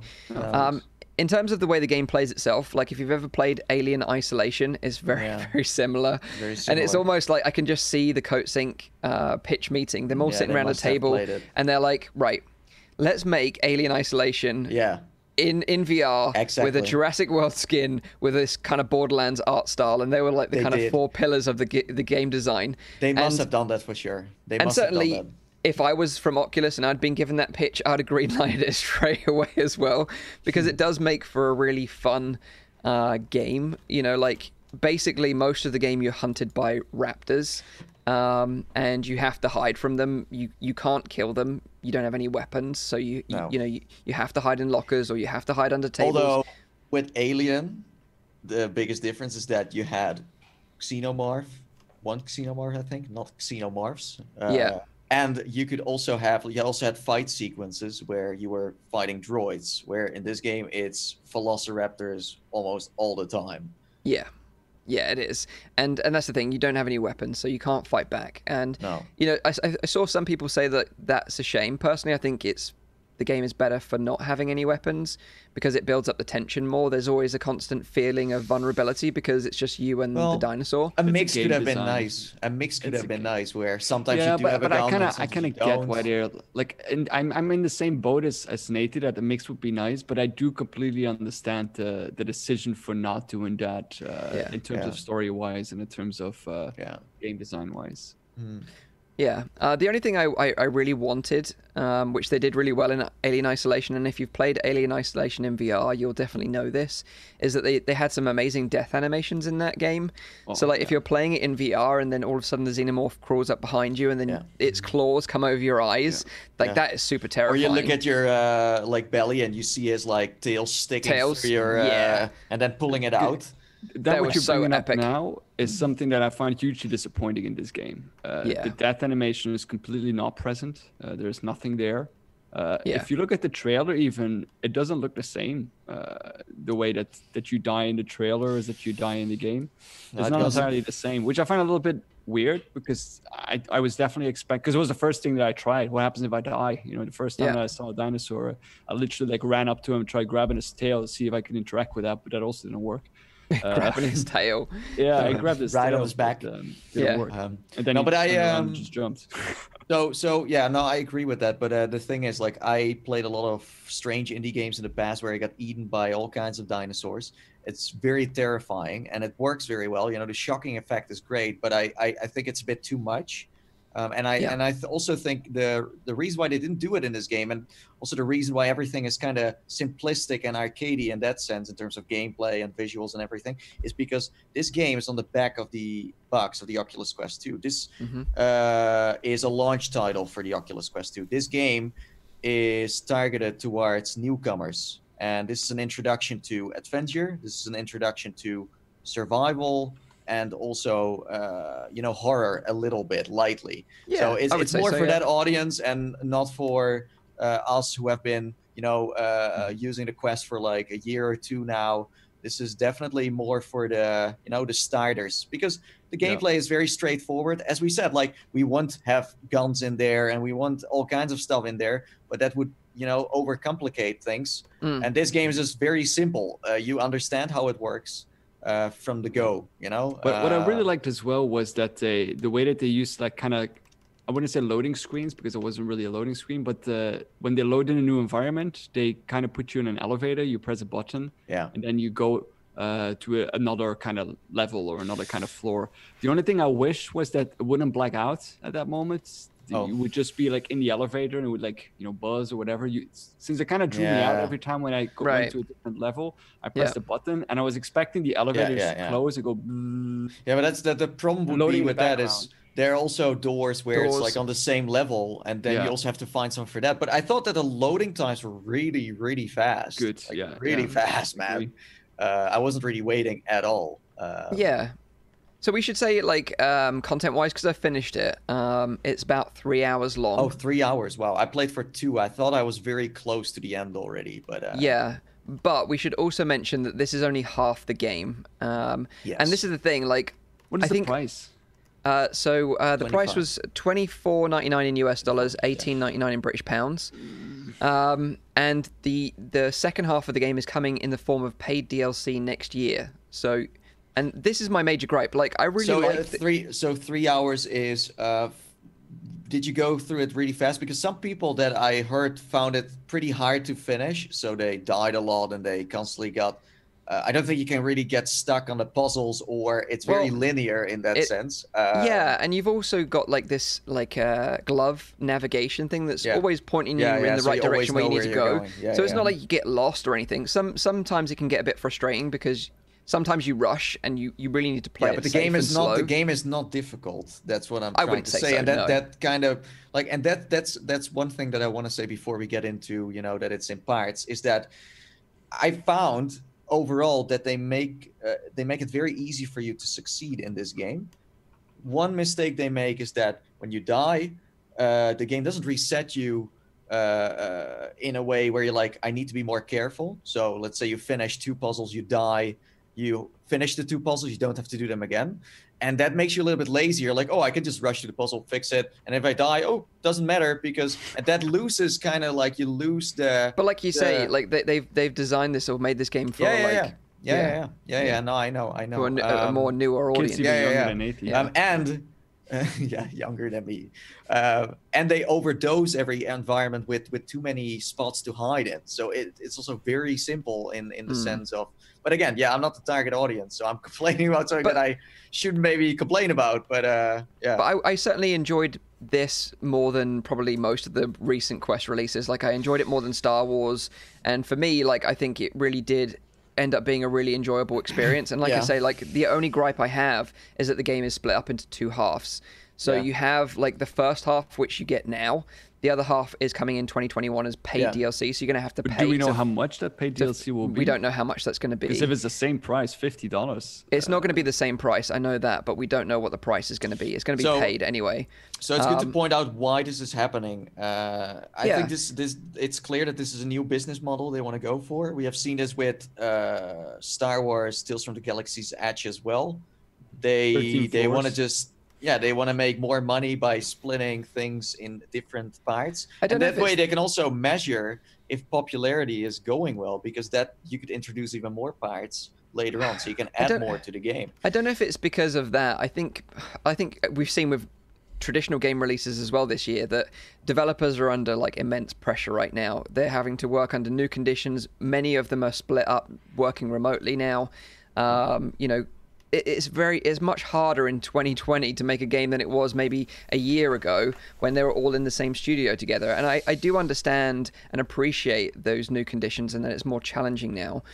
But I, I don't think that's the case. I think it's just a case of like the game was going to get delayed and delayed and delayed and delayed. They they advertised this game around what os- like the Facebook Connect, and it was going to be a big title, um, and they just have to break it up. So this would have probably been like uh, you know uh, what like a 30 35 dollar game if it releases as a whole, but they have to split it in two just to get it out there. Um, Uh, like, eh, of course, that that that also plays in the background. But um, if you look at the way the game has been designed, and same for uh, Galaxy's Edge, you can see that money can be made there by adding more content and splitting it in parts. You uh, make your new user base getting used to this new model of oh, you buy this in pieces. But I think it's a Uh, dangerous move because I think Oh, a lot of people are really move. annoyed about it. Like, certainly from my perspective, I think the biggest disappointment for me is that they don't clearly state this in any of their marketing. No, that's that's Um, yeah. It isn't in the game's description when you buy it in the store that you're only getting No. half the game up front. And I think that is my biggest frustration is the lack of transparency around the fact that this is half the and content. that's why I'm saying like if they like they could have been more transparent, but this is a way to kind of go around. Yeah, uh... I think the problem is that once you once people are burnt by this business model too many times, they're like, do you know what? Screw this. I'm not buying an Oculus funded title mm. anymore. You know, if this is yeah. what they do with all their games, like they did with Star Wars, they did with this, then like if it's got like a funded by Oculus brand on it, or you know, made in collaboration with Oculus Studios, I'm not I'm not going to fall yeah, for that trick it, again. Yeah, but but the, like the growing rate of how many new Quest users are coming in every week, I don't think that's a real concern to them yeah, well, maybe not. But I think I think I you know certainly they should state yeah, clearly still, in the game's it's description just annoying. that it's half it's, the game. True, and it's annoying. It's same with like Vader Immortal, where we had all these parts. It's like just give us the but, full thing. But the thing with Vader is it. That they said like it was episode one, so you knew that there was more episodes, subsequent episodes yeah, yeah, to come. They don't say this is but Jurassic the, World the, episode the, one. Yeah, and, and that that's a problem. problem. But also the yeah. the the difference in quality and playtime, because it could be that part two is the exact same price, but it's just not as good as the first part, or it's actually better than the first part. Could mm. also be. Um, but it's like, how do you balance that? How do you keep the playtime and the content balanced with part one, part two, whatever is coming? Yeah, um, it kind of kills the it kind of kills the immersion too because you play at a certain point you want to finish it in one run. You want to buy the game yeah. finish it and not be like oh now i need to wait to 2021 do i still care about this game in 2021 yeah. and I, I think you that's my I mean? point. Like I, obviously we're fortunate you know we get the game early and we get to play it for free as well which we're super grateful that's for. always nice but, yeah. but having but if i was a paying customer or if i was advising a friend of mine i would say just wait for the whole thing to be finished. Yeah because you like, don't know how if the rest is going to be any good or not. Yeah. Like you you can't base like you can't do a review right now based on this one part and not know what's what's still coming. Is there yeah. still something decent coming? No one yeah. freaking knows. I'm sure. I'm sure the second half will be good. You know, I really enjoyed the first half, and I, I do want more. It just sucks that I have to wait and that they didn't release it and just wait it and no. release it as a full package as a full game. I think I think the the reviews and the perception as well from the VR community would have been better if they just waited and released it as a full package in like yeah. Easter yeah. or whatever. You know, like no, there's been so many game releases as well just recently that they could have pushed this yeah, one out again, a little bit further. And again, and this is a classic mistake that Oculus makes all the time. They have a lot of awesome titles lined up and they're waiting for them to, but then they just throw them out. You know, Medal of Honor here, mm-hmm. here, Medal of Honor, go, uh, play and then and then it's like Jurassic World after oh here play play play. Oh surprise launch. And now half the people don't even know this game came out. Zero marketing once again. Hmm. again with this one as you said maybe maybe they weren't completely ready yet but it's like you throw away money all the time with this. And also leverage because this yeah. this is a title it's on the back of your freaking box. Yeah. And it's Jurassic World Aftermath. You know how much a license costs to make a game like this? Use it in your favor. Use it as marketing. Hire me okay just hire me. I'll make it happen for you next year. No, but seriously, he's retired you get, as a YouTuber, so you can hire him. But like, uh, but that's the thing. Like, I think overall, it just is a shame because I think you know, like I said, the game is good. I did really enjoy it, but but do you do you so, so, there.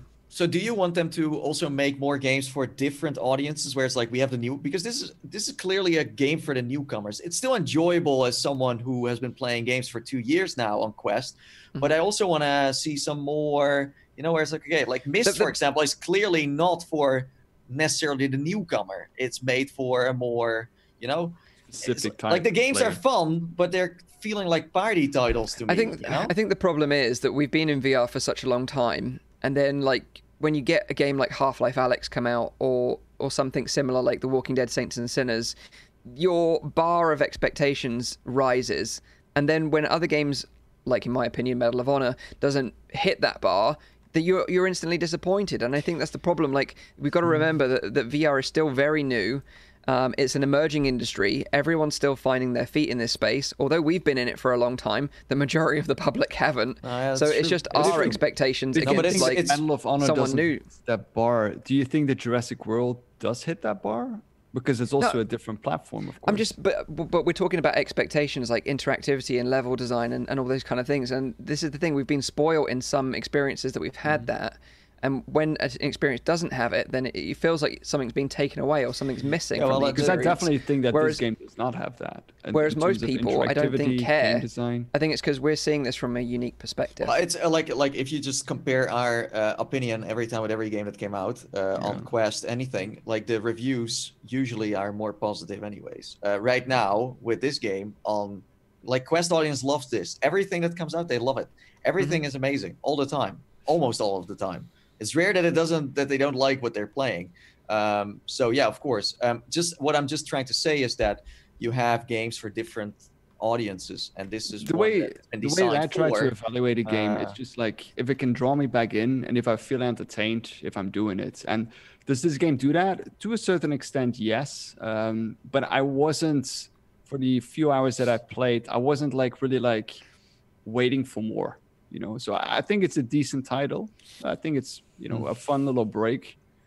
I don't. I wouldn't say that this is a full recommendation from my end, just in general. I think I think its only downside is that it's coming in parts, and that's that's that's just a, a, a game breaker in a way for some people. Uh, yep. Yeah, that's certainly my uh, stance on it. You know, yeah. I think the game's good. Yeah, I, I enjoyed it. I had a lot of fun screaming, Fine. hiding from Velociraptor, yeah. my face off. Yeah, it is scary. I, I don't know if you spoke enough about this, but it's it's definitely a terrifying game. You know, like yeah. uh, it might look like a Roblox uh, Velociraptor, but uh, it's it's scary AF, man. The the sounds in this game are freaking insane. I uh, I need to pipe in just for a second. First off, you're all flatly wrong. Uh, I'm just kidding. Uh, Chad has for wrong. some reason gone into conspiracy theory. Okay. Chad, in case you're wondering, I'm a spoiler sensitive fella, and I have dialed down the audio, so I haven't heard a goddamn thing these guys have said. I did a little bit of lip, lip reading by accident. Uh, but no, I don't have anything to say on the game yet. I haven't played it, so I'm just trying to save it for myself. I'm glad you guys find yeah. it terrifying and fun, though. I definitely picked yeah. up those yeah. two bits. Yeah. So that's pretty much our summary on Jurassic World. Fun, but half the so content available right now. Is this the last game that came out for this year, or is there still something coming? Uh, as far as I know, for Quest, this is the last one. this coming. was the major one. So the yeah. Climb 2 is not suddenly launching next week out of nowhere as well, because they launch out of nowhere. And, and, I, and I can true. tell you, like we, like you would think that we also know what's coming out for. No, we don't know anything. It's like coming out of nowhere, and we also kind of need to adapt, just breathe, like you guys. Breathe. Yeah. I was gonna say one Crazy. one one comment. I know. I think you guys were talking about the episodic thing. It feels wrong that consumers don't know on the face of it that there's an expansion. That's what that, yeah, yeah uh, that there's not a more apparent uh, flag for that. Disclaimer. For that type, yeah. yeah, there needs to be an overt disclaimer if a game's going to be cut in half. And I think it's yeah. the same problem that we've had with microtransactions um, feeding off of, of developers' time when they could have been making an expansion for the game or doing something more material for the existing mm base. I, I, think it's a very different thing. We, we, we started off in PC, uh, take it back to the original Half Life, for example main game drops was popular. They decided to make a not a sequel, but an expansion pack. Um, and then they made another expansion pack. Mm. And those expansion packs were developed after the initial game had been fully developed, launched, you know, and they didn't have this problem of, oh, here's all the content, we'll cut it in half and feed it to them. And I feel like that feels, to some extent, as underhanded. And that's the problem I have with that with that strategy. It um, is underhanded and, because and, they, yeah, you, it, this wouldn't fly in any other gaming medium. Like think about it this VR. way, right? Like you're going we, to you're going to a sandwich counter, yeah, and, and you're like, I'll have I'll have the rye on toast, and it comes to you on the plate. It's half a sandwich. I'm like, oh, it's 50p for another half. It's like I thought I was getting a full sandwich. Yeah. Why, why are you yeah. giving me fucking half a sandwich? I ordered yeah. a sandwich. You know, you yeah. got to tell me if you're going to give me give me half. So uh, that's uh, it, the point. It, just, it, it will just take a few more of these these tricks and then people are like, "Listen, I'm not doing it anymore." They just won't bite. So it They'll might, just stop might work. It might it might still work stop with this more. Ah, yeah, no, it was fun gameplay, so I'll just. that's, that's what I mean. You just um, get burnt too many times, and you're just like, "I'm not doing but it." It, also kills the kills the whole vibe of a game. It just mm. kills it. It does. But also, like we should we should also point out because this is an Oculus funded title, this might be out of the control of Coatsink, and they might have just been told you need to release this now, and they yeah, didn't have yeah. much say but, in the matter. So and there, there is such. I, I think this is a really credit. important part that uh, developers and their publishers should always consider. How you release a game has an enormous effect on how it's taken like mm-hmm. the, the perception of the game, irrespective of the content. Now, I want to say one thing on, on behalf of, I think it was D1360 in chat had mentioned, wouldn't it be great if we got Turok in VR? And all I can yeah. say is Turok is fucking a badass game, right? If you don't yeah. know it, it's become quite old now. Um, awesome, and the yeah. thing, like Turok 2 Seeds of Evil had this evil gun, the worst, most gruesome weapon I've ever seen in a game. I'd love to see it in VR. It was called the Cerebral Bore.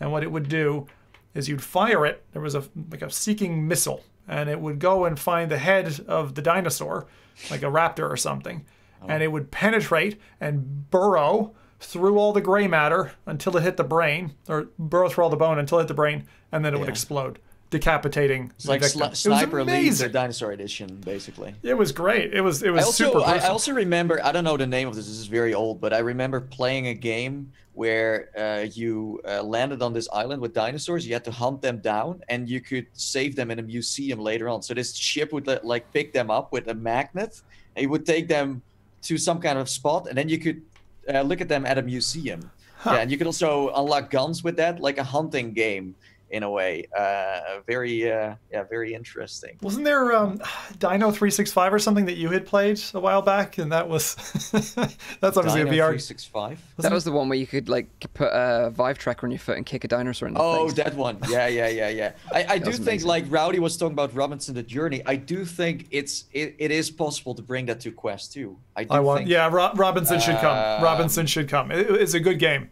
And I, I think a lot of people would enjoy interested in doing it's that. But it game. came to PC as well, I should yeah. say. Uh, it was a PlayStation VR exclusive. Then it came to PC. Island 365, uh, not Dino 365. Ah, yeah, yeah. yeah. Island 365. Yeah. Almost got it. So yeah, that is uh, Jurassic World Aftermath. Um, now let's uh, jump into releases. Have we got any releases next week? I've got a few. Yeah, I've got a few. I've got one that I'm excited about anyway. I know that for sure. A couple of things that uh, launched a couple days ago as well. I'll mention. So okay, go for um, it. Cool. So for the first one, uh, okay, who can guess the first game I'm going to mention? Go on, lads. Uh, Microsoft Flight Simulator. Nope. Uh, Jurassic World Aftermath.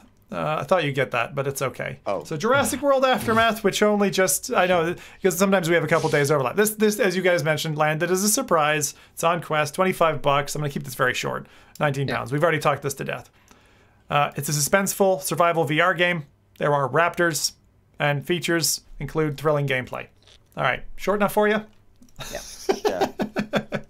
so, so there you go. 17th. This only just landed very. So if you're like wondering, like, where did this come from? Out of the blue, right? Out of the blue. Uh, we didn't know this was coming. Next one. Um, I think drumming experiences in VR are underrated. I really do.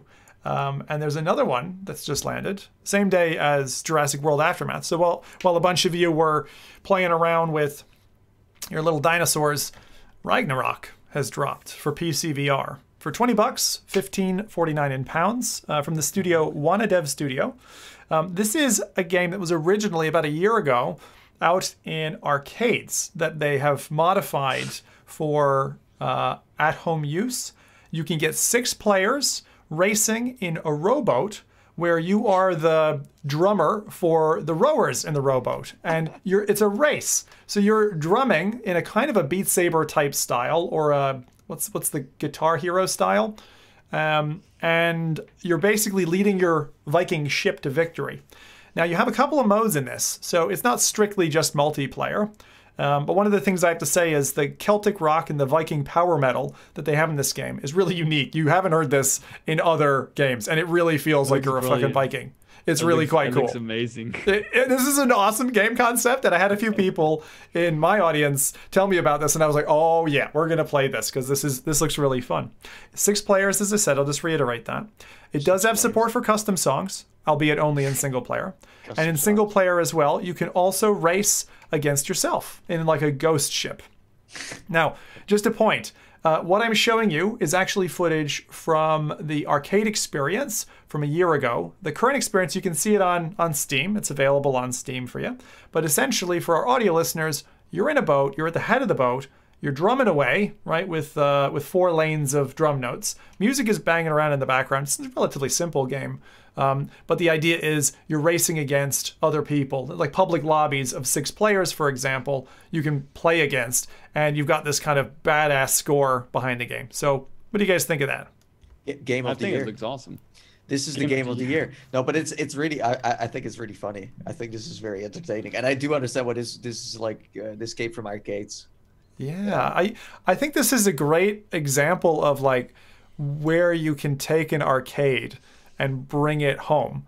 and then make it like a simple game, but it's like fun. You're like racing against friends or even uh, someone publicly. What I didn't pick up was is there VoIP because I think that would be a really important part, like the option to have VoIP in the game. So I hope it has it, but I don't. I don't know. Mm. So you go. Okay. So if you're into Viking uh, music races, wow. uh, it's a Viking rhythm race, is what they call themselves. Uh, mm-hmm. Then there you go. That's Ragnarock. Just dropped on PCVR. Now, the next one I've been keeping an eye on for quite some time, and it is now coming out in early access. Uh, this game is, to my surprise, not a multiplayer experience, but is rather a, a up to four player co op. It's called Crunch Element. So Crunch oh, Element, Crunch Element, yeah. We've been yeah. we've been waiting for for quite a mm. while, and now they've released it on the 19th of December. This is DreamLab XR, and what this is, if you think of the game Firewall, uh, which was a 4v4 on PSVR. It's very much kind of a milsim, tactile combat, CQB, that means close quarters combat, uh, skill based shooter, but with one important selling point destructible terrain. So the compound walls are made of concrete. You can blow them up with explosives and get yourself and your co op mates into the building. Um, the layouts of the compounds themselves are actually procedural, so they change every time you play, uh, and you get to you know blast through even even some of the uh, lighter grade materials on the inside. So you, there will actually be uh, bullet uh, shed interiors through wood and drywall, for example, inside. So when I was seeing this, and they've teased, oh my god, this is like the longest foreplay ever. They've been teasing this game, I feel like, for six months on Twitter, every little update that they've made. Now they're coming out in early access. This game is, as I said, $20. Um, it looks great, but man, was I was shocked that Crunch Element isn't a multiplayer experience. It's co-op. Yeah. I, I, I would have thought Six, that. Uh, yeah, it's like Rainbow Six, but like I would have thought for sure that its unique selling point would be two teams of four going head to head. You know, in a yeah. map like that, that would be like where, where, it's like a little bit like Bad Company style, where everything is destroyable with Rainbow Six tactics around it. Mm-hmm. Yeah. Yeah. It would be epic. great. Like like an, a multiplayer where you you hide behind a wall and suddenly half of the wall flies out. Like I haven't really played something where it's like not VR. Yeah, exactly. Like, like, Bad uh, Company 2, I mean, was is my favorite game of all time, and yeah, and yeah. that's exactly what I what I saw when I saw this. Now, co-op, yeah. like I won't I won't say bad things about them. I am going to continue to say where's the multiplayer guys, uh, but they're planning to kind of continually bring features to the game. So new okay. new different building layouts. Right now, I've heard it's a little bit content free, right? So if you're getting into it, be aware that it's quite in a it's it's probably unfair to call it a tech demo, but if you consider Boneworks to be a tech demo. Uh, it's it's it's it's yeah. it's you know the technology behind it, the actual cool stuff that you can do, the kind the kind of play, gameplay that you're going to get out of it for yourself. Uh, be aware of that when you're paying the price tag, you know. And then I think it's one of those that you you'd play it now, and then you'd probably wait, uh, you know, for a couple of months, wait for something more material to come in the game. Yeah. Definitely uh, looks interesting though. I like I like the concept and like I'm I love co-op experiences. Well. So yeah. uh, with a destructible environment, I think it looks pretty sweet. Actually, looking forward to trying this one out. Yeah, very compelling. Um, so for anyone who's got a buddy or family member member who wants to get into some uh, combat close quarters. Now, next thing. Firstly, I'm going to give a warning. Um, so, Microsoft Flight Simulator, please, if you are, if, if if your wallet is suffering, it is the holidays. I understand. Please turn off your monitor, turn off your phone display, just look, keep listening. Don't watch the trailer because, my God, this game will make you want to buy it. Uh, and it's not cheap. So, okay. Um, I mean, that said, $60 will get you into Microsoft Flight Simulator. They bumped the date up by one date. Uh, so now instead of the 23rd, it's coming on the 22nd. Interesting little change. I don't know why. Um, the, the price for this game can be extortionate, like a lot of other flight sims. So between $60 and $120 uh, for the premium deluxe package, there's actually a three tier model. So you can get the base game for 60 bucks. Uh, for a bit more, you can get the deluxe package, which adds five planes and five airports. And you can get pay for the premium deluxe at $120 or 110 pounds, and you get five planes and five more airports. Oh, um, so so what does that mean? Like, what what does it mean to have an extra airport? It means that the airport is fully fully modeled. So if you land oh. at London Heathrow, it'll yeah. look like London Heathrow, and it, it's something that if you're an aviation fan, yeah, the extra planes are going to matter because they fly differently. The control schemes are different. Mm. The the airports obviously is the main point of departure and arrival, so yeah, that's why that matters. But so otherwise, you have to like uh, you're almost out of fuel. You're like, okay, I gotta land in the sea because I don't have the airport yet.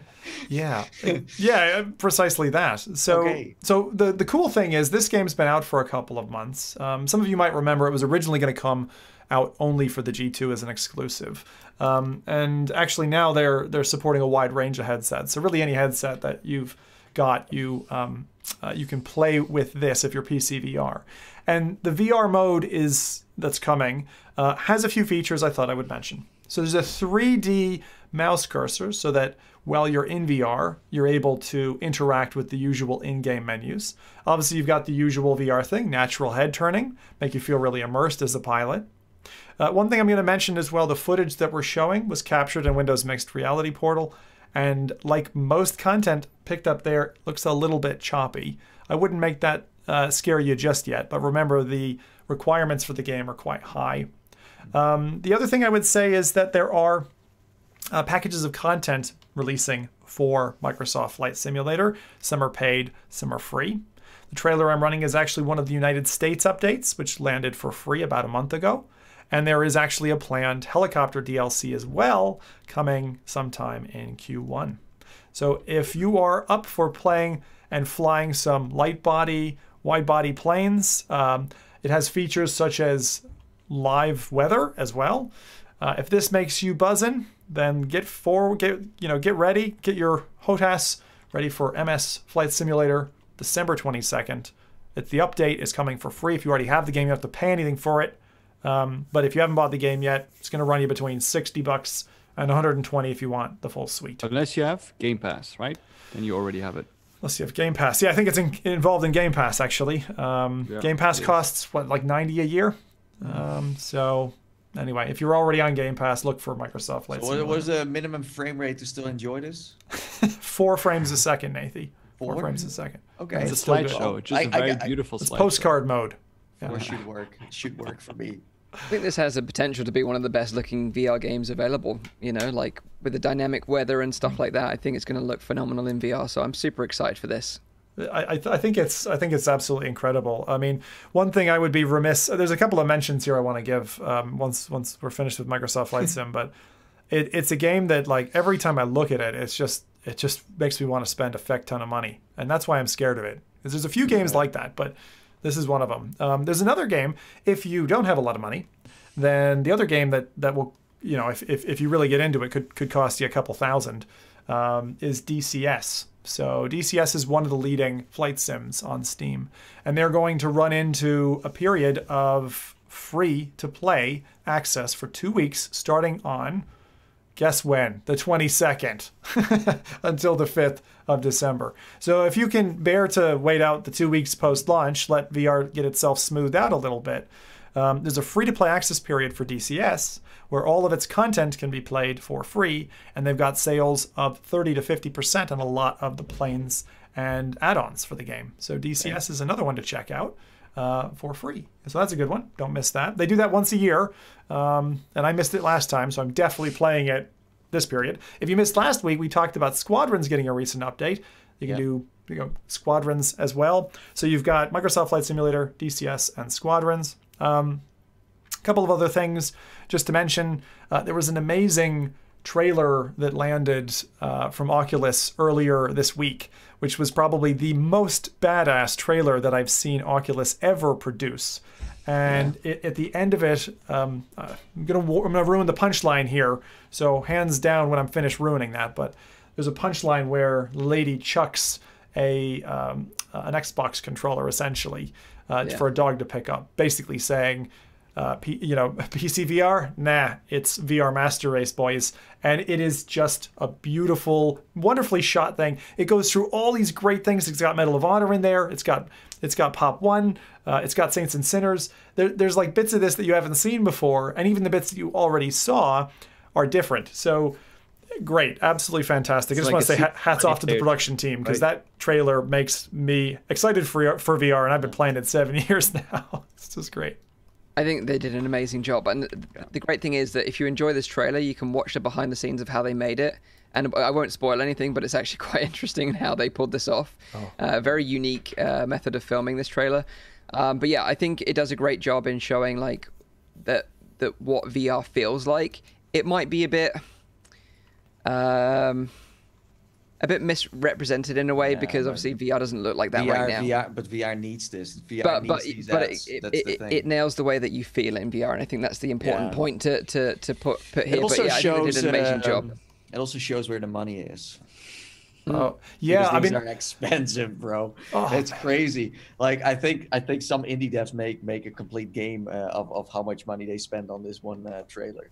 Absolutely. But you have to. I mean, It it, does, it does show the future, though, right? This is how how in the future VR games will Yeah. start to look, yeah, right? I, I love that. so, yeah. I, I mean, the that- near future, even. It's exactly, and and it's the, it's absolutely the future that I want for VR. Um, I think we have to keep you know, uh, keep chins up about the whole thing. But um, uh, it's great. I think the only thing that I, I can say, seeing this trailer, right, because every game in this trailer is out, except for the climb, Oh, and the climb two is absolutely an experience that I'm looking forward to. I loved the climb one. Some of you will know that um, I actually that's how like I met my wife was mountaineering and stuff. But uh, like that feeling of being up a, a building, scaling a building, just feels so great. Building a mountain, whatever it is, something tall. Um, and they did a great job in this trailer of blending between somebody who is scaling a building and then, of course, flying in Pop 1, which is another great feeling. If you haven't played Pop 1, flying in that game, you do feel a bit like a bird.